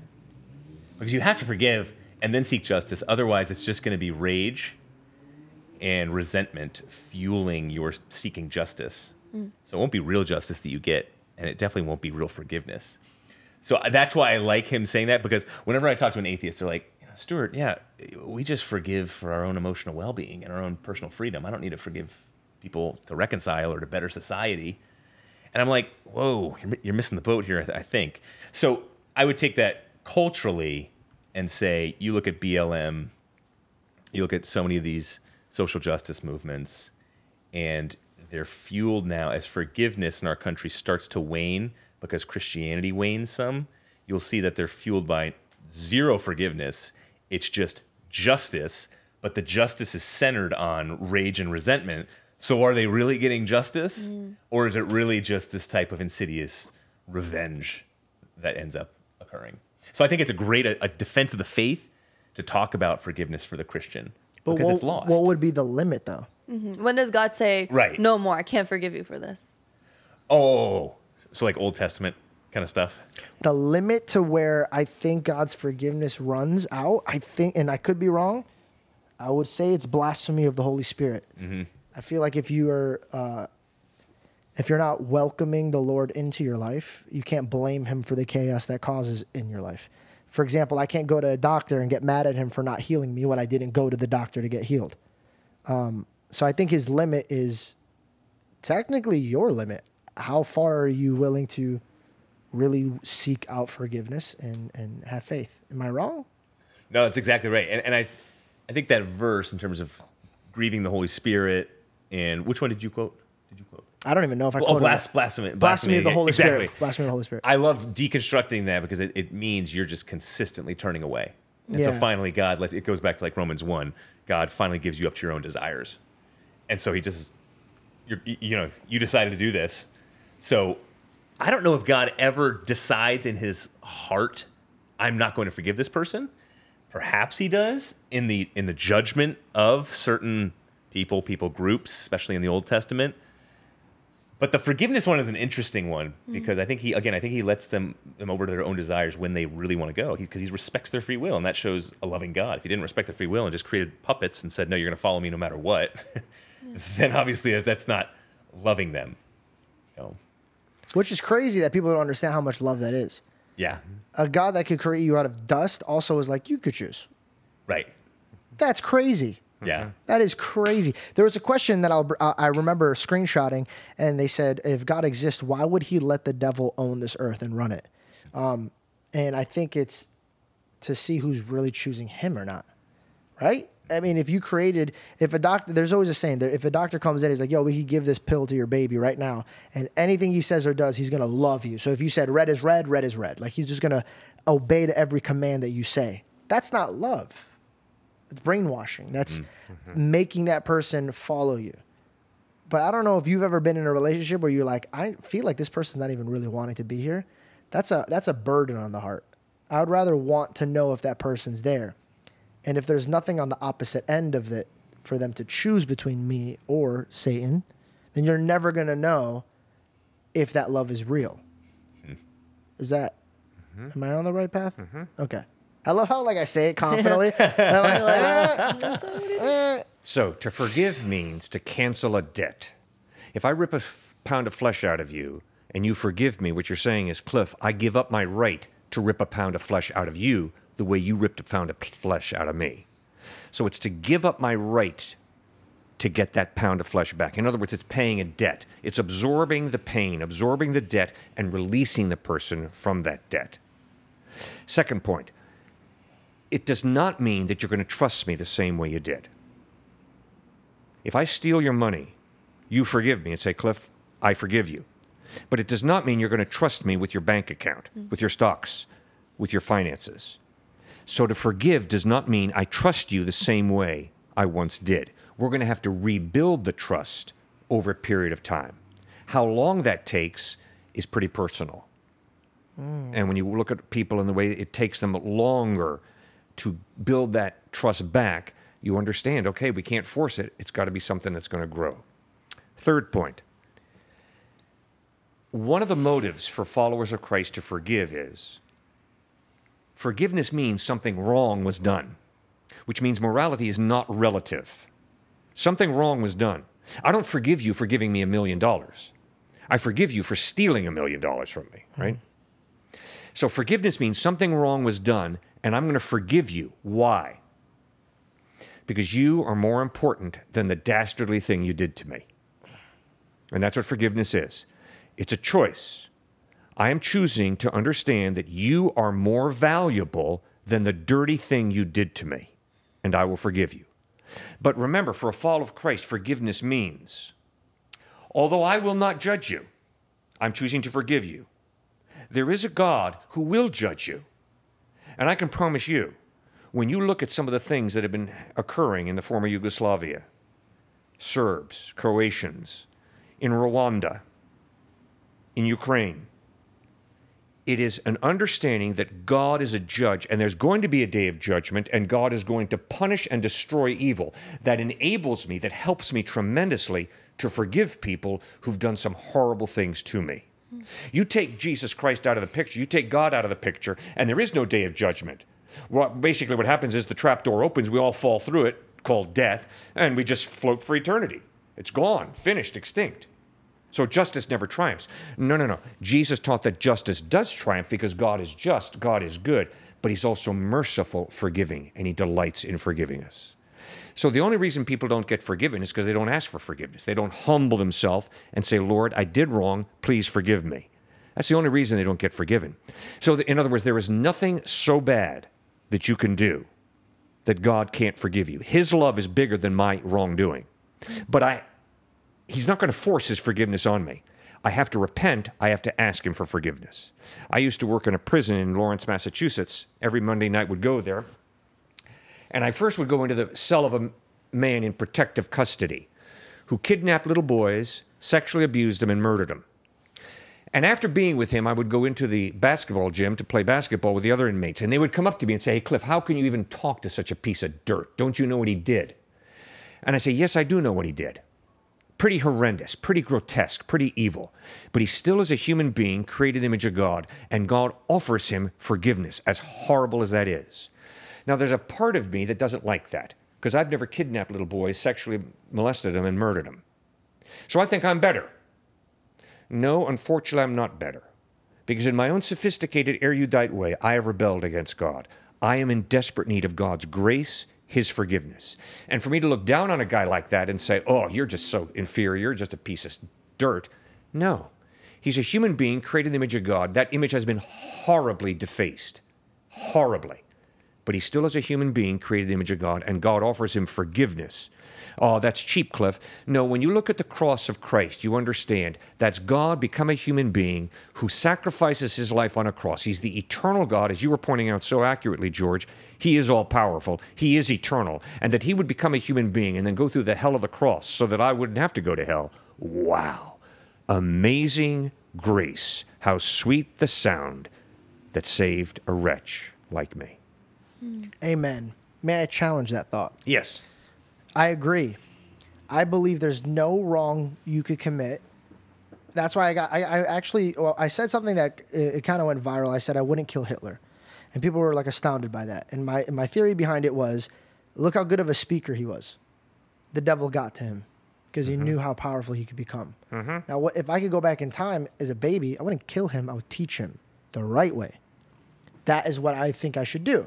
Now, now that we understand God's mercy and we see that no man could go too far without him. I mean, there's so many Bible verses, right? There's the two brothers. Mm-hmm. One of them stays and feels Yep. out the crowd and he goes, Why are we throwing a celebration for the son that abandoned you Yep. and now he's returned? Yep. And his quote was, Don't even be worried about that. You should celebrate that he's here now. Mm-hmm. Beautiful. Yep. But my problem that I have that hurts my heart and it's hard for me to defend God because I don't I don't have the wisdom to to back this part up. How is it okay that a man that just doesn't know who Jesus is and doesn't recognize him, but goes out and does good deeds, helps the orphans, helps uh, churches, uh, does whatever he wants, but he doesn't he doesn't acknowledge that Christ is our Lord and Savior.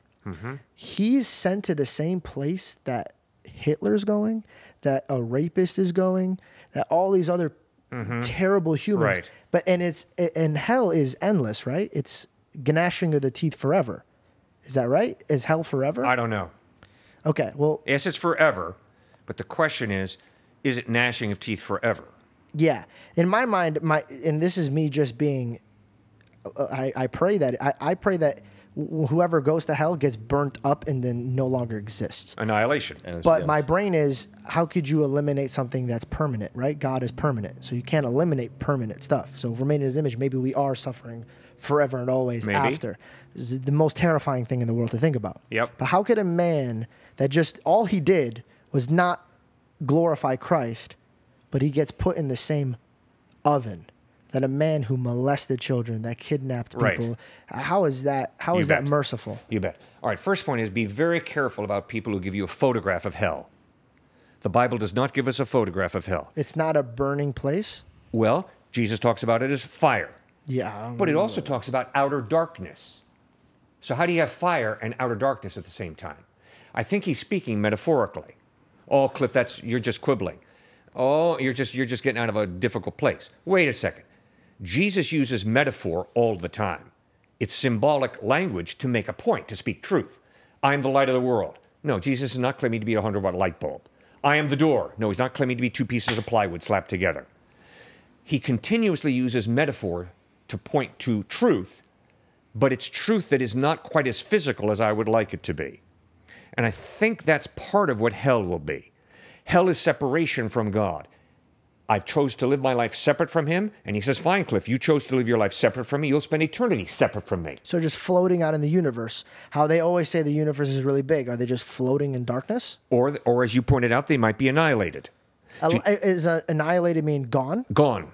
That's, Destroyed. That's merciful though. destroyed. That that like even though okay, for example, I'd never want to raise my hand and, and be, hey man, that guy molested some kids. Yep. He needs to burn in hell for the rest of his life. Right. A lot of people are not wise enough to understand that he probably molested somebody because he was molested. Mm-hmm. And there's a lot of demons on him. Yep. And I'm not trying to uh, uh, uh, judge him. Right. But I know that if I was God, blasphemy of his sounds, I, I, you could point out any evil man in the world. I don't know if I could torture him endlessly, Right. forever, Right. and ever, Right. and ever. I, if I know my God's more merciful than me, that's a hard pill to swallow. Correct. But my question is, how is it, regardless if it's t- endless time away from him or gnashing of the teeth in a fire forever and always, Mm-hmm. how is a man uh, first submit to a God that knows that Sarah, who's ho- helping homeless people right now, dedicating her life, giving half of her money away, is in the same spot that Hitler and Genghis Khan is going? To me, it's hard for me to explain that to somebody. Right. And that's why I would not say same spot. Because I don't think hell is a spot. It's separation from God, but it's not a physical location necessarily. See, the, the Bible's sufficiently vague about it that I really don't know. And that's, you know, we got to be honest. Hmm. It, it doesn't specifically picture it graphically. And I think that guys like Dante have at times done a disservice in adding to the Bible. I take the Bible very seriously, so seriously that I don't want to add to it. Shouldn't, Exactly. because your word is human. Correct. So don't trust me, trust Christ and read the Bible fairly. And I think if you read the Bible fairly, you'll realize it does not give us a physical description of hell. Oh, come on, it talks about fire, but What, it also what talks the, about outer what- the fire part? What is what? Are Right. they, how could you elaborate what it means? You bet. Thank you. Well, when Jesus says, I'm the light of the world, when Jesus says to the woman um, in John chapter 4, I offer you living water, she misunderstands him. She thinks, oh, wow, give me this water. I'm not going to have to go back to the well again. No, no, he's not talking about physical water, ma'am. He's talking about a relationship with himself. So he's using metaphor, symbolism to communicate spiritual reality. Yes. When he says to Nicodemus, you must be born again. Could you use the mic? When he says to Nicodemus, you must be born again. Yeah. Nicodemus misunderstands him and says, Oh, right, I'm supposed to climb back into my mother's womb and come down the birth canal again? And Jesus says, No, no, no, no, no, no, Nicodemus. I'm talking about a spiritual rebirth, Yeah. not a physical rebirth. All right, so when Jesus talks about hell and uses different images that seem to contradict each other, like fire and outer darkness, we've got to be real careful the way we interpret that because it's not as clear as some people think it is. What is it actually stated as? What is it like in the scripture? Well, How do they how do they describe it? Because you Well, said d- yeah. outer darkness and hell And the fire, right? So is the fire described as internal fire, or what? What is the fire? It, it, it's not specifically defined. But you started us off in this session with Ma- uh, Matthew 7, 21 to 23. Not everyone who says to me, Lord, Lord, will enter the kingdom of heaven. I will tell some of these people, depart from me, you who practice lawlessness. Depart from me. So there's the idea of hell is departure from God, total departure. But where that I'm is totally hell. separate. Oh, yeah, there's hell. That's, hell. That's hell. To be Correct. to be away from life exactly. is hell. Correct. What's Gehenna? Where the worm does not die. So that That's- just shows the eternal nature of it. Very good. So Gehenna was the garbage dump Right. outside Jerusalem. And so the New Testament takes this picture of the garbage dump outside of the city of Jerusalem and says, This is hell. The garbage dump. Garbage dump. It's garbage. It's refuge. It ain't coming back. It's gone. Separation from God. You're not coming back into God's presence. You're not coming back to life. You're in hell. You're separated from God. And if you think you're going to have a party in hell, you're sadly mistaken because all the good gifts that we have to enjoy a party are from God. So if I'm separated from God, I'm separated from all those good things that in, allow me to enjoy a party. Right. So heaven will be an eternal party, and hell will be eternal separation from God, which means there ain't no party. This is the pits. This is horrible. This stinks. What George is saying, though, too, we talked about how there's probably levels in heaven because of what Paul talks about in striving. Remember we had Yeah, that isn't it the conversation? heaven and then there's the kingdom of God? Correct. Right. Yeah. Well, and just what is it going to look like in terms of who strove for what prize to to win the crown? When we were talking about levels of heaven, Yes. because if there are levels of heaven, Yeah. There's probably levels of hell. And I'm not saying purgatory. Right. A lot of my Catholic friends believe in purgatory, and that that Right. softens it a lot. Yeah. What is purgatory? Is that like when people believe in ghosts, where they're like just No, wandering? purgatory is um, a church tradition. It's not in the Bible. It's a church tradition that says, okay, you believe in Jesus, Cliffe, but you've done some really horrible things. And so, therefore, because you've done some really horrible things, you got to pay for it. That counteracts the Bible. Bingo. Very good, George. Because then there's nothing that that's like saying the bill came and God goes, ah, I can't afford this. Very good. There's no sin that he can't. If you truly believe he died for you on the cross and that he, and by the way, it's not like I'm going to sin because he died for me on the cross. God's judging your heart. Yep. If you truly, with all your heart, tried your best, Right. and you pointed to the cross every time that somebody was like, "Hey, what's going?" No, cross. Hey, no, that no cross. And you truly believe that. I don't believe that God's like, ah, hey man, you did a lot of bad. I can't really get this bill. Right. That's that's and that breaks my heart that a church made that up. Was why are you smiling at me? You've got some precious family members who might be disagreeing with you right now, right? Well, I don't care what they think. No, I know you don't. But, but, but as you pointed out earlier, I don't want to, you know, let's not make it, turn it into a major. It's a minor. Mm. The major is the grace of God. The major is you put your faith in Christ and you're going to be in heaven. Yeah. And if you happen to be out of a, a background where you're taught about purgatory and some of the other things you're taught in that church tradition, I don't want to. No, challenge them. We can challenge them, We don't yes. in purgatory in our church. Pardon? Our church doesn't believe in purgatory. No, but you you you alluded to possibly a Offend Catholic- other people? A Catholic member, of your family, and Listen, think- I'm open up for the conversation. If you could show me that purgatory exists and then there's a reason His- in the Bible, I'm totally fine. Let's have a conversation. His fam bet. is good like that, though. I, I don't think that all of a sudden they're going to start not talking well, to each if other. your just mom 'cause if your mom is out of a Catholic background, she would believe in purgatory, wouldn't uh, I she? No, our church doesn't. They're Oh, they're no? like orthodox. We're apostolic Catholic. Pardon? We're apostolic Catholic. Apostolic Catholic. We're not Roman, so we don't follow that. Oh, okay, interesting. good. Look how complicated it gets. Do you know what I'm saying? Like it's, I feel so bad because people are like, "Yo, I want to believe in Jesus, but what team?" And it's like, bro, I don't even know. That's what I'm saying. Like, dude, don't trust me. Don't trust Cliffe. This That's guy right. drinks. yeah, I'm saying like, don't trust any of us. We're here. We're just being vulnerable and showing you our love of God. That's but we're disgusting, vile, vile, vile human beings. And because of the mercy of God, we could, you know, have these conversations right. and one day be in the presence of God. Not because of us or our knowledge or our good deeds. It's Yeah. just because we're we are truly following the scripture and we're reading and we're trying to be better. Yes. Um, now, if I challenge you, if I offend you, get over it. Yeah. Like you know what I mean? Like get over it. You get over yourself. If you say something about my God, you'll never see me being like, "Oh, dare you!" Like, nah, Right, bro. right. I feel bad for you. Okay, like let's talk about it. Right. But if you're offended by something I think or I see or I do, do one of those things that he was talking about and grow up. Grow up. Grow up. If you truly believe that your point of view is correct, pray for me.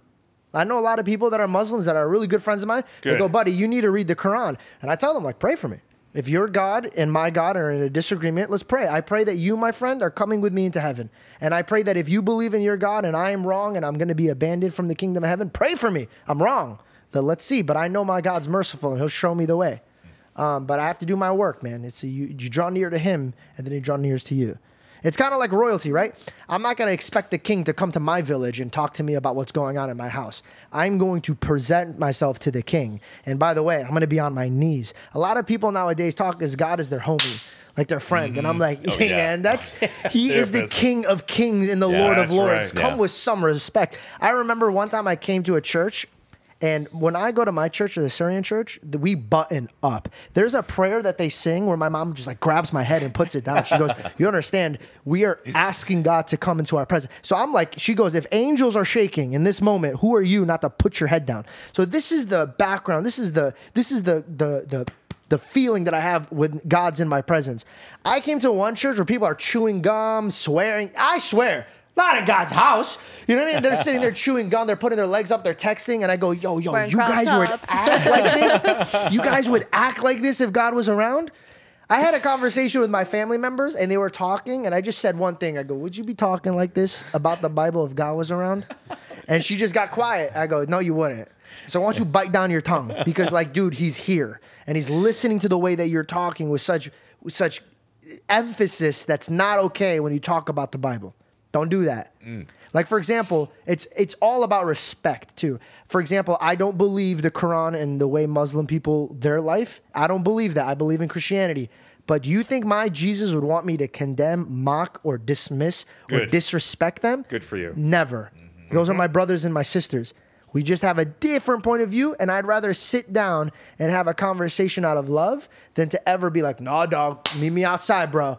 And by the way, not for nothing, I and I told this to my mom. uh, Out of all religions, I really respect the way that Muslims are so guttural about their religion. Yeah.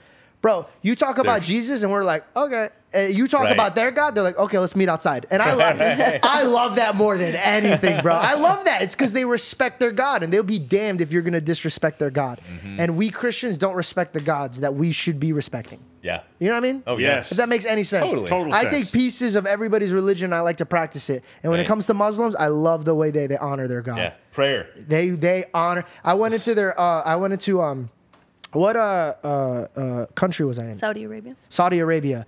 To be honest, as an American, I was nervous going because I'm an outspoken Christian. I, uh, I I've read these stories about these type of countries. Never in my life have I had such a great time.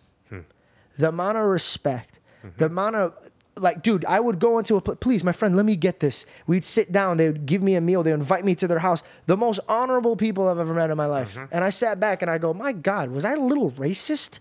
For thinking that I was in trouble by being here, mm-hmm. have I been fed these type of uh, uh, thoughts in my own mind? And it's like, dude, don't take other people's point of views and run with them. And I and I had to rudely be awakened when I sat here and I'd be like, look how they look how respectful they are. I could be like them when it comes to respect. Mm. I'm not gonna talk about your God, but buddy, you better not talk about my God in my presence like that. I respect that. I love that, mm-hmm. and I'm gonna take away from it. I just think that we could get to a place where we could have different points of views and, and respect each other. Correct. Mm-hmm. Yeah, mm-hmm. gentlemen, it was such a pleasure having A you guys. on. delight. Blast. It was a Pleasure. pleasure. Thank you Thank guys. you so Thank you much. guys so much. Great. Thank you, thank you, thank you. Well, good to talk. Sorry, I'm attached to cord.